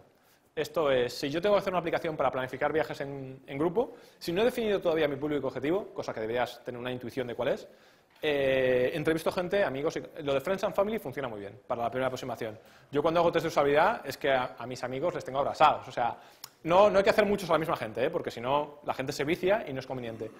La gente suele decirlo de que al menos no más de un test de usabilidad o de usuario cada seis meses, ¿vale? Para que la gente no pille ya práctica. Eh, Friends and Family funciona y al menos tener un screener, o sea, una serie de preguntas que determinan si esta persona es tu público objetivo, ¿vale? Hace poco estoy ahora trabajando en un proyectillo para gente del MACBA, ¿vale? Entonces, el screener era que los usuarios a los que entrevistaba fueran consumidores culturales habituales, ¿vale? Y un par de preguntas más. Si pasan dos o tres preguntas, me valen para hacer la- las entrevistas. Con el tiempo, cuando ya tienes información, ya te interesa refinar, pero al principio es que no tienes nada, entonces te, te vale casi cualquier cosa que se parezca. Cuando vayas teniendo información ya tiene que ser gente más parecida a tu perfil, más parecida a tu perfil, etc. Lo que también haces es validar tu perfil contra la gente, porque a lo mejor comportamientos que tú crees que tiene la gente de un cierto perfil, te das cuenta que ni de coña, ¿vale? Luego te lo crearías, eh, cogerías la- los usuarios que realmente tienes y los validarías contra contra tus personas. Si tú lanzas una aplicación y tienes un, beta- tienes un grupo de beta, eh, luego entrevistas a la gente que tienes en la beta y ves si se parecen al público objetivo que tienes. Esto pasa un montón lo de que atacas a un público objetivo y luego resulta que tienes otro. Entonces, a- a- tiene- o pivotas o miras a ver cómo consigues a tu público objetivo. ¿Vale? ¿Alguna otra cosa o tiro millas? Pues lo siguiente es el, el ejercicio, ¿vale? Os pediría que os juntéis en grupos un poco más amplios, porque entre dos es un poco soso, y que hagáis algo parecido. Supongamos que el objetivo es hacer una aplicación de planificar viajes en grupo. Hace un momento habéis participado todos de un pequeño ejercicio de investigación con lo que tenéis algo de información sobre cómo planifica la gente este tipo de cosas. Aparte de eso, como vamos a hacer proto-personas, que además no lo he puesto, eh, vamos a... Sí, de hecho lo he puesto. Vamos a definir basándonos también en nuestra experiencia personal, en datos. La idea es que no solo nos basamos en la experiencia porque solo tenemos una entrevista que hayamos visto, sino que vamos a tratar de tener toda la información que podamos tener pues como, como usuarios más o menos de este problema que somos. Pues os pediría que definierais las protopersonas. Os recomendaría que alguien tome un poco de notas de vez en cuando, eh, comportamientos, metas, etcétera. Os he hecho una chuletilla, porque si no, no os vais a acordar nadie de lo que tenéis que hacer. Y en el fondo es esto. El problema era una aplicación para planificar viajes en grupo, ¿vale? Y hay que definir una protopersona eh, principal para esta aplicación. Y estas son las cosas que lo definen. En 10 minutillos volvemos. Vale, bueno, espero que, habéis, que hayáis terminado más o menos con una idea. Espero que condense más o menos un consenso general de cuál es vuestro público objetivo. Y la idea es eso. Porque normal, lo que pasa siempre es que cuando hablas con gente, eh, tú tienes una idea muy clara de, de cuál es el público que usa tu, tu aplicación o que, o que tiene el problema que tú atacas, pero es que la otra persona también y normalmente no es la misma. El tema es que a base de compartirlo y compartir cosas concretas y obligarte a crear a estas personas, compartes información y las estructuras y la dejas en un sitio escrito, es consultable, es utilizable.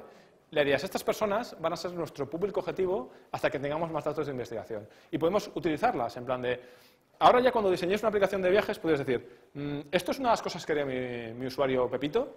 Mm, No, Pepito no haría esto. Es mucho más fácil analizarlo que el usuario elástico que hace todo, porque un un usuario, usuario hace cualquier cosa. Entonces, una vez que hemos hablado de qué son las personas que usan nuestra aplicación, ahora vamos a hacer el siguiente modelo, que es básicamente el contexto. Es poco más o menos que modelar la vida de las personas. Bye. Eh, ¿Qué es lo que queremos hacer ahora con, todo lo que hemos hecho? Pues hay otro modelo habitual, que hay varias formas de traducirlo. Normalmente se suele decir user journey. eh, hay gente que lo traduce por escenarios, hay gente que dice que escenarios son los distintos tipos de journey. Es un pequeño lío. Yo lo llamo escenarios y me va bien. Eh, el tema es, es un pequeño arquetipo de cómo es la vida de la gente cuando entran en contacto con nuestro producto o cuando entran en contacto con el problema que tienen que nuestro producto quiere resolver. Entonces es una, una aproximación. Es una especie de mapita que, que muestra los pasos que sigue una persona que acaba teniendo un problema, o sea, que acaba teniendo el problema que queremos resolver. La idea es que los- las personas o protopersonas que hemos creado van a ser los actores de esta interacción. Esto es, vamos a ver cómo es la vida de Pepito cuando tiene que el problema que queremos resolver. Esto es un ejemplo de un escenario de estos, ¿vale? Este sitio muy famoso lo- es de Starbucks y son los pasos por los que, por los que pasa una persona que pide un, que pide un café en un Starbucks, ¿vale? De hecho, está, es- está relacionado con un tipo de persona en concreto, que es este Eric y tal, ¿vale? Viene el propósito, etcétera. Y este es el mapa. Este eje suele ser la- el eje emotivo. Normalmente hay cosas que son negativas, en plan esperas, etcétera, cosas que son positivas, que es cuando el tío te llama por tu nombre para darte la bebida, cuando te llega la bebida está muy buena, ese tipo de cosas. Entonces, normalmente se diseña un pequeño mapa que nos ayuda a pensar todos los pasos por los que pasa para interactuar con nuestro, con nuestro producto, para resolver el problema, etcétera. Hay muchos tipos de, igual que vemos que hay muchas formas de hablar de personas, hay muchas formas de hacer estos, estos escenarios. Esto es una pequeña plantilla que incluye un, un empathy map de estos, de otro- una plantillita de lo que puede ser un escenario, ¿vale? Hay otra gente que lo modela más en plan caso de uso, con interacciones muy explícitas y pidiendo cositas. En el fondo, lo importante es el modelo que tengamos. Nosotros en InfoJobs, cuando hicimos la, La aplicación Android usé el modelo de la de Starbucks y empecé a hacer cositas, las he tenido que anonimizar. Pero básicamente es eso, que los pasos y fui viendo las, las, interacciones y las cosas importantes que pasaban en cada paso y que podíamos atacar, que era un problema, etc. Entonces, lo que se suele hacer en estos escenarios es indicar los actores, las metas y motivaciones. Esto es, la gente que va a meterse en este tema, quién es y qué es lo que quiere. Se trata en especial detalle las interacciones entre actores. Esto es, pues Manolito le pregunta a los amigos eh, dónde quieren ir, los amigos le responden por WhatsApp, este tipo de cosas. Se determinan bastante bien los pasos del flujo, se suele poner bastante especial importancia en los problemas, porque un problema de una persona es una potencial mejora que podemos hacer o un punto por el que podemos atacar con nuestro, software, con nuestro producto. Y normalmente hay mucha tendencia a hablar del tema emotivo, porque es lo que os comentaba. Mm, las cosas no solo tienen que ser funcionales, sino que tienen que aportar sentido a la vida de la gente, tienen que ser agradables de hacer, etc. Eh, normalmente se habla bastante en los mapas estos del tema emotivo para buscar formas de hacer no solo algo que sea útil, sino que además quieras usar que son conceptos distintos. El tema de los escenarios. Yo normalmente utilizo dos escenarios cuando trabajo en diseño. Uno es el actual, que es descriptivo, esto es, ¿qué hace la gente hoy en día cuando quiere resolver el problema, el problema que quiere resolver mi producto? Esto es, ¿qué hace Pepito hoy en día cuando tiene que saber eh, cómo planear un viaje con sus amigotes? Pues ahora quedan todos juntos y se toman unas cañas. Eh, hablan de sitios que quieren ir. Uno mira en una web de viajes a ver los precios, otro busca el hotel. Miro a ver los puntos y hago un escenario de lo que pasa ahora. ¿vale? Investigo y, si no tengo datos, hipotetizo sobre cómo es la vida de la gente resolviendo el problema ahora mismo. Y lo que suelo hacer en paralelo es hacer el escenario ideal. Esto es, cuando mi software, mi producto, lo que yo estoy haciendo esté en el mercado y la gente lo puede usar, ¿qué pasará? Entonces, esto me da una idea bastante buena de hacia dónde quiero ir. Ejemplo, cuando mi producto que sirve para planificar en grupo exista, Pepito solo tendrá que hacer la cuenta, añadir a sus amigos en WhatsApp y todos podrán sugerir en WhatsApp los sitios a los que quieren ir. Mi producto ya buscará automáticamente en las páginas principales de viajes los precios y los mostrará a todos. Habrá un sistema de votación. Este tipo de cosas ideal y dejando volar un poco la imaginación, porque la tecnología va después, lo que vamos a hacer funcionalmente va después, es lo que queremos hacer. Quiero saber aspiracionalmente a dónde quiero llegar con mi producto. ¿Qué cambio va a haber en, la vida de las personas cuando mi software esté en la calle, cuando mi producto exista, eh, cuando mi producto esté al alcance de la gente? Entonces, el escenario actual es lo que os decía. Ilustramos el contexto del usuario. Eh, en este caso, como no tenemos un usuario, usamos la otra persona cuando tiene el problema que resuelve nuestra app. Este es el escenario actual, ¿vale? Y obviamente, una vez dicho esto, lo siguiente es un ejercicio, que es, vamos a construir un escenario de cómo es la interacción actual de la protopersona que hayáis creado ahora cuando tiene que planificar, eh, cuando tiene que, planificar un viaje eh, de grupo con unos amigotes, ¿vale? Entonces, lo que quiero que hagáis es lo que os contaba. El método clásico suele ser describir un día en la vida de las personas cuando entran en contacto o cuando tienen el problema que tratamos. Entonces, si fuera el caso del que hemos hablado, pues Pepito va un día con sus amigos al bar. Uno comenta, normalmente el escenario incluye los puntos previos a que de verdad exista nuestro software y a que entren en contacto con la idea.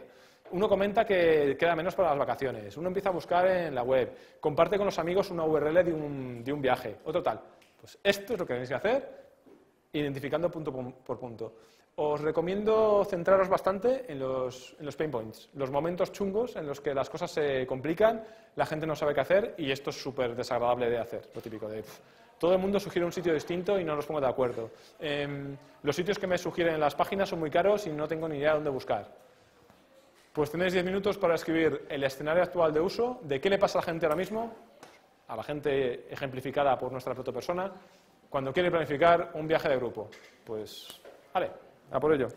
Bueno, seguimos. Continuamos, estamos a punto de terminar ya, ¿vale? Bueno, vamos a ver, esto ya en teoría debería ir tirando. Sí, más o menos, minuto arriba, minuto abajo. Bueno, continuamos. Vale, entiendo que ya habéis hablado de la vida de la gente, habéis hablado de las personas, os habéis centrado en una protopersona que habéis creado en base a la información que tenéis en el momento este tipo de cosas, ¿vale? Y habéis visto cómo es el problema actual. Os habéis identificado los problemas que tiene la gente. Habéis empezado a hablar seguramente de algunas soluciones, de explorar algunas, algunas alternativas. Entonces, obviamente, una vez que hayáis pensado en dónde, en qué punto está la gente y que os habéis dado cuenta de qué problemas tiene y dónde hay una serie de oportunidades para mejorar la vida de la gente, pues es que el siguiente ejercicio está claro, clarinete, si consigo entender esto. ¿Vale? el ejercicio 2, lo mismo, pero el ideal. Y ahora sí que hay que, digamos, dejar volar un poco nuestra imaginación, empezar a hablar de qué vamos a hacer para cambiar la vida de la gente, empezar a pensar cómo va a ser la vida de las personas cuando nuestro producto esté en manos de la gente, cuando nuestra aplicación en este caso esté en manos de la gente. ¿Qué va a cambiar? Cosas que os recomiendo. Eh, ¿Cómo va a resolver los problemas que tenían? Oportunidades de deleitar. Deleitar significa que algo no sea funcional, sino que añada algo a la gente que realmente le sorprenda. Esto, esto que a veces hay algunos programas que de repente hacen algo que no esperas y que hace algo increíble. Sí, este tipo de cosas. Algo que sin tú querer, de repente te viene la información que tú necesitabas sin que tú supieras ni que, la, ni que la querías. Esto es lo que tenéis que hacer, ¿vale? Deleitar a la gente. Pues ahora viene el diseñar este pequeño mapita de los puntos estos. Una cosa importante, ¿vale? Que normalmente pasa bastante desapercibida. ¿Cómo va a hacer la gente para saber que vuestra aplicación existe? ¿Vale? Porque esto no es que es una bobada. Aquí tú puedes decir, sí, sí, vamos a resolver la, gente, la vida de la gente de maravilla, va a coger nuestra aplicación y va a hacer todo. ¿Cómo va a saber la gente que tenéis esta solución mágica a todos sus problemas? Pues esto es un punto bastante importante en el que también tenéis que pensar. ¿Vale? Bueno, pues lo dicho, diez minutitos y con eso casi cerramos, terminamos unos cuantos conceptos y nos abrimos. Vale, vamos a terminar en un momentillo, ¿vale? Eh, si os acordáis, digamos, eh, yo cuando empecé la, charla lo que hablaba es de, que no quería hablar de usabilidad, que no quería hablar ni de botones, ni de estructuras de información, ni de menús, ni nada de esto, sino quería hablar de, gente, de personas, de escenarios, de la vida de la gente y cómo podemos cambiar la vida de la, de la gente con lo que hacemos, ¿vale? Y esta es la idea. Ya no estamos diseñando desde el punto de vista de, bueno, voy a poner este botón aquí, voy a poner esta pantalla aquí, este tipo de cosas, sino en todas las dos horas hemos estado hablando de personas, sus y el contexto. Y esto es lo que, según Stephen Anderson, es lo que establece una experiencia de usuario. Y este es el objetivo del workshop. Que los que estéis aquí no os tiréis como bestias a tirar código y a pensar en pantallas, a pensar en interacciones, que si pongo el botón aquí o allá, que esto ya llegará, sino que penséis en cómo es la gente a la que, para la que estéis construyendo una aplicación, qué vida tiene y cómo podéis cambiar esa vida con vuestro software y que tenéis algunas herramientas para empezar a modelar este tipo de cosas. ¿Qué queda después de esto? Pues es bastante... O sea, al final de aquí ya... Sí, podría hacer otro workshop, pero en el fondo tampoco es muy distinto. Identificas las cosas necesarias para el escenario ideal. Esto es, de lo, después de lo que habéis hablado y después de la experiencia que queréis conseguir, hacéis una listita de funcionalidades que son necesarias para que esto ocurra. Eh, definís el MVP, o sea, esto es, el set mínimo de funcionalidades con las que podéis lanzar hacer una cosa que os sirva para, para recuperar información, para validar si vuestra propuesta tiene sentido en el mercado, si la gente reacciona a ella como debería, si hay un mercado, si hay gente que está dispuesta a pagar por ello y esto tiene sentido que sigáis trabajando en ello. ¿vale? Y a partir de aquí, pues es iterar, básicamente, hacer la primera versión, investigar, ver qué tal funciona, iterar, siguiente versión, investigar. Esto en cualquiera que, que diseña sabe que en el fondo el objetivo de, una aplicación es, un, es una diana móvil. Nunca das en la diana, te acercas cada vez un poquito más, pero siempre haces una versión, iteras, la siguiente versión va más cerca. ¿Qué es el MVP? El Minimum Viable Product. Es un término de Lean. Si alguien de aquí no ha leído el típico rollo del Lean Startup y tal, es un, eh, es un libro bastante interesante y es una metodología que está muy bien para, para el problema que suele tener la gente que tiene un pequeño estudio o son unos amigotes, que es eh, cómo hago, cómo convierto mi idea en un producto, cómo la valido, cómo trato de ver si tiene sentido en el mercado. ¿vale? Y el MVP es eso, es lo mínimo que puedo hacer para, como prueba de concepto, como hipótesis de mi producto, para comprobar si tiene lugar en el mercado, si hay un mercado para ello, si la gente está dispuesta a, pagar por ello y para probar si mi hipótesis de producto tiene sentido. ¿vale? Iterar. Para que os sirva de ejemplo, esta es la tabla de priorización que hicimos en InfoJobs después de hacer todo este rollete que os he enseñado, que en el fondo cada post-it es una funcionalidad que queríamos tener para llegar a nuestro producto ideal a todas cosas. Cogimos y las priorizamos, la más importante es arriba, y fuimos poniendo puntitos en las que estaban hechas. ¿Vale? En rojo es, un, momento del desarrollo, en azul es otro, también algunas cosas que fuimos diciendo, esta no vamos a hacer, eh, dividimos en varios tracks, ¿vale? Valor para nuestros usuarios, valor para los stakeholders, porque obviamente esto es un negocio y les tengo que dar valor a mi cliente interno, porque ahí, no es la única gente, no solo tenemos que dar valor al, al, usuario, sino también a la gente que tiene un negocio. Y normalmente decimos, al final acabamos haciendo un track de bug fixing, porque según vas montando esto, van saliendo cosas que tienes que ir a arreglar.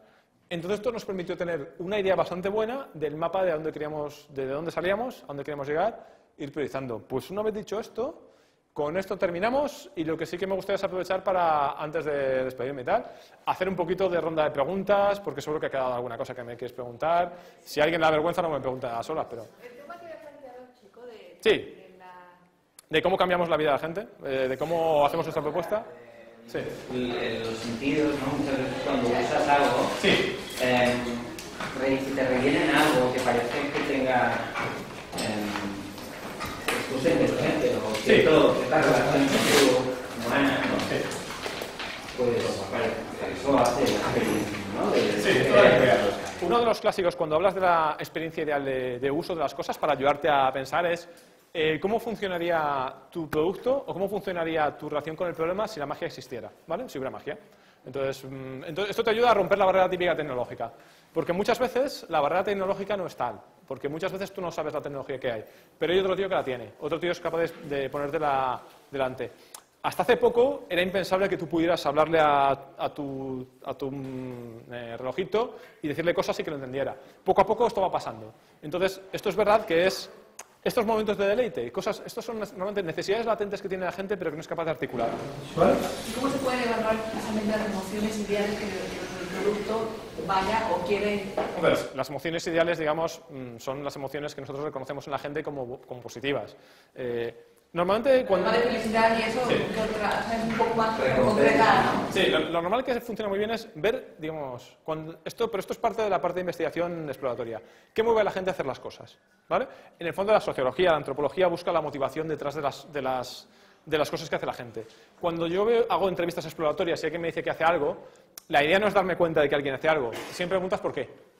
Y entonces, cuando te responden, normalmente te responden una, pregunta, una respuesta rápida. Entonces le preguntas el segundo por qué. Y siempre no sé si son los tres o los cinco porqués. Tú te vas investigando hasta que ves la motivación detrás de lo que hace la gente. Entonces, detrás de la motivación te haces una idea de cómo funciona, de, de- de por qué hace la gente las, las cosas la gente, qué, le- qué valores tiene, este tipo de cosas. Buscas las creencias. La gente tiene las creencias de lo que es bueno para él y malo en el mundo. Entonces, normalmente se quiere identificar con lo bueno. Buscas los momentos de placer. Le preguntas este tipo de cosas. A- Al final es que hablas con la gente, ves los momentos en los que la gente pone cara de interés, pone cara de felicidad, ves que se emociona, ves los momentos en los que la gente se caga en todo. Esto cuesta menos identificarlo. Este tipo de cosas, ¿vale? Es lo que normalmente te da, te, te da esta aproximación. Es lo que decía, no, es una receta, no hay una receta mágica para medir la felicidad que tiene la gente. Hay aproximaciones muy frikis en cuanto a eh, medición de resistencia de la piel para saber si la gente miente o está más emocionada, cosas así súper raras. Esto hoy en día no. Eh, normalmente el mejor medidor es ver la expresión de la gente cuando hablas con la gente. Es que le miras a los, ojos, a los ojos a la gente y les miras las reacciones que tiene y todo eso y te enteras de todo. Uno de los software que yo uso para hacer pruebas se llama ay, eh, Silverback, es un software para Mac que está muy bien, que te graba lo que hace la gente en pantalla y la imagen por la cámara de- del Mac, ¿vale? Y entonces le veo a la gente lo que va haciendo y la cara que pone. Y esto es genial. O sea, me entero al momento de cuando la gente se pierde, de cuando la gente llega a un momento que no sabe qué hacer. Un- de hecho, una, una, eh, una pro tip de estas, cuando ves que la gente se acerca mucho al monitor es que no se ha enterado de algo. Porque es lo que hace instintivamente la gente cuando no entiende algo, ¿vale? Al final eh, es eso, o sea, si lees libros de cómo realizar entrevistas eh, de las ciencias, de ciencias sociales o de antropología y este tipo de cosas, hay mucha teoría al respecto de cómo haces una entrevista te identificas con la gente, etcétera, ¿vale? Hay- hace poco hay, ¿cómo se llama? Steve Portugal, que es un investigador que hace mucha investigación contextual, que es básicamente ir a ver a la gente en el entorno en el que de verdad vive. Eh, ha publicado un libro que se llama Interviewing Users, que no es ninguna maravilla, pero está bastante bien y te cuenta muchas historietas de, de qué es lo que hace él, de cómo toma notas y tal es una buena guía de campo de, iniciación de cómo se hacen las entrevistas. Hay mogollón de libros sobre hacer entrevistas y entrevistas de ese estilo y se habla de cómo identificar las- los momentos buenos, los momentos malos, las emociones de la gente. Yo la- con la práctica aprendes mucho. Al principio te sale todo fatal y a las 10 veces ya entrevistas quien sea y te enteras de cosas. ¿Algo más? Esto, es lo, esto sí que además lo digo siempre y parece que, que la gente no se queda. Tienes que hacer entrevistas a gente, ¿vale? Si os quedáis en casa, no hay Dios quien sepa cómo funciona vuestro software. Vuestro software funciona porque la gente lo usa y tenéis que ver a gente usándolo. Y ver a gente usándolo es mucho más barato y más rápido y más, más sencillo de lo que pensáis. Y las primeras veces sale fatal y te preocupas mucho porque, por el guion. O sea, de entrada, Sí. cuando quieres provocar alguna experiencia y no Sí. tienes el producto, te inventas tú el usuario. Eh, es que es lo que te digo. Normalmente lo- investigas qué le pasa a la gente ahora mismo. Porque normalmente tu software quiere resolver una necesidad. Puede ser latente, lo que sea, pero es una necesidad. Investigas qué hace la gente con esa necesidad. Por ejemplo, supongamos que yo quiero un software, ah, invento una máquina para prepararme la comida. ¿Cómo se prepara la comida hoy en día la gente? Pues investigaría este tipo de cosas. Oye, ¿cómo te preparas la comida? Bueno, pues voy al súper, tal. ¿De dónde pillas las recetas? Las bajo de no sé dónde. ¿Y, los, eh, y, la- ¿Y cómo compras la comida? Pues tengo que anotarme, lo voy al súper, aunque luego me olvido algo. Todo eso me daría muchos datos sobre qué momentos de la experiencia son buenos y malos. Porque a lo mejor encuentro que la gente se lo pasa súper bien yendo al súper comprando cosas. Y, y comprando cosas naturales y frescas que luego va a comer. Y entonces, si yo hago una aplicación que compra esto y te lo deja en, en el frigo, hay un cierto tipo de usuario al que eso le va fatal. Pero seguramente otro tipo de usuario le vendrá genial. Es lo que te digo, al final es un público objetivo, cómo vive la gente, cómo vive la experiencia, qué puntos son positivos y qué negativos hoy en día, qué soluciones toma, dónde están los puntos de roce hoy en día. Y a partir de allí empiezas a tener unas pistas y yo espero que a todos, después del ejercicio que hemos hecho del caso actual, las fotopersonas y tal, se os hayan ido encendiendo bombillitas al hablar de casos reales y de, y de la vida de la gente, ¿vale? Porque vas viendo, a mí me pasa mucho, ¿eh? cuando hago este tipo de workshops, la gente enseguida le ves que va entrando en el rollo, porque empieza a pensar en la vida de la gente y se empiezan a encender bombillas, joder, esto se puede arreglar, esto se puede arreglar, esto se puede arreglar. Este es el momento que quiero que se produzca y es el momento que tienes que hacer que se produzca, ¿vale? ¿Cómo lo mides y todo este tipo de cosas? Bueno, o sea, a la hora de diseñar luego ya llega un momento que es un poco ahí el punto creativo de conozco a la gente, conozco los problemas que tienen, quiero hacer soluciones. Y el proceso creativo tiene tanta gente, tiene tantos métodos como gente que hace el proceso, el proceso creativo, ¿vale? Hay formas más creativas de hacer cosas, el hacer muchas hipótesis. De hecho, una buena, un buen consejo es el, el hacer seis de todo. Cuando, haces, cuando tienes que hacer una solución, te recomiendo normalmente coger un folio, dividirlo en seis y hacer seis propuestas rápidas. No quedarte con la primera. Que es lo que el design thinking este. La idea es que la metodología de diseño trata de evaluar muchas alternativas hasta que se queda con una solución. Y la idea mental típica de, de un ingeniero es coger una solución y optimizarla, optimizarla, optimizarla. En el momento en el que estáis ahora, que es cuando todavía no sabéis qué es lo que queréis hacer exactamente y tenéis muchas, muchas hipótesis, funcionan muy bien las ideas alternativas. Y aunque sean locas, te fuerzas a tener una nueva, te fuerzas a tener una nueva y las comparas. Y normalmente siempre pillas algo de cada una que funciona mejor que otro. De esto más o menos hay... De esto puedo hacer otro workshop. ¿Algo más? ¿Alguien tiene una pregunta sobre lo que hemos visto? ¿Alguien tiene alguna duda? Si queréis eh, ayuda, consejos, alguna bibliografía, algún rollo, me mandáis un correo, me preguntáis por Twitter, lo que queráis. Muchas gracias por venir y... Espera, espera, antes de todo. Eh, estas. Yo, en principio, no sé qué... O sea, las tendré que poner accesibles porque las querréis. Yo casi preferiría que las, dárselas a ellos, a los del Smart City esta, para no colgarlas en Twitter alegremente, porque es que... Sí, bueno, a mí con que os, la- os las den ellos o algo me va bien. Porque no he puesto las atribuciones de todas las imágenes que tengo y he pillado imágenes a la bestia. Entonces tampoco quiero que nadie se... O sea, que no quiero robar el trabajo de otros, ¿vale? Y lucrarme. Como aquí no huele un duro. Una pregunta rápida. A, a la hora de determinar cuántas personas más o menos tú defines Sí. por, por la propuesta, Sí. eh, supongo que empezarás con una, dos, tres. ¿Hay algún momento del ciclo de desarrollo que tú analizas si tienes que segmentar a esas personas o, o resolucionar? Yo recomiendo siempre que sean pocas. Y lo típico es siempre, yo normalmente se recomiendan entre 3 y 5, ¿vale? Porque es que además es, maneja, es difícil de recordar. Me acuerdo, creo que era el Windows 7 que tenía mogollón de personas que habían hecho y que habían hecho carteles y los ponían por otros sitios.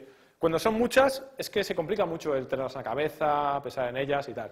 ¿Y cuándo tiene sentido hacer más? Pues cuando, tú, cuando ves que no, o sea, que hay más complejidad de la que tú tenías dispuesto. Yo recomendaría mm, tender a la simplicidad frente a la complejidad, tanto en la app como en hacer artefactos respecto a la app, como en hacer todo esto, ¿vale? ¿Se podría una persona? No, una persona no, porque es entonces, a ver, es que nunca, nunca hay una forma de resolver las cosas, nunca hay un único usuario para tu producto, siempre investigas y resulta que hay otro que no te esperabas. Hay otro que es el antisuario, que es al que no quieres atacar. No te quedes con uno porque es muy pobre, ¿vale? Yo te recomendaría y entre 3 y 5 y lo que sí que puedes hacer es priorizarlas. Este es mi objetivo y además estas dos que funcionan. No pienses solo en las personas que son tus usuarios. Si tienes una plataforma, o sea, unos crean contenido para que otros lo consuman, piensa también en los tíos que tienen que crear contenido, ¿vale? Porque esos son usuarios, tienen que funcionar. En InfoJobs, por ejemplo, teníamos personas de, de los usuarios, o sea, los candidatos, la gente que se escribía a puestos de trabajo, y personas de los reclutadores, la gente que pone ofertas, porque sin los otros tampoco funcionan y es muy importante tener las dos perspectivas, ¿vale? Se me ha olvidado que tengo que darle la palabra a este caballero, así que, pues nada, luego me despido y termina él.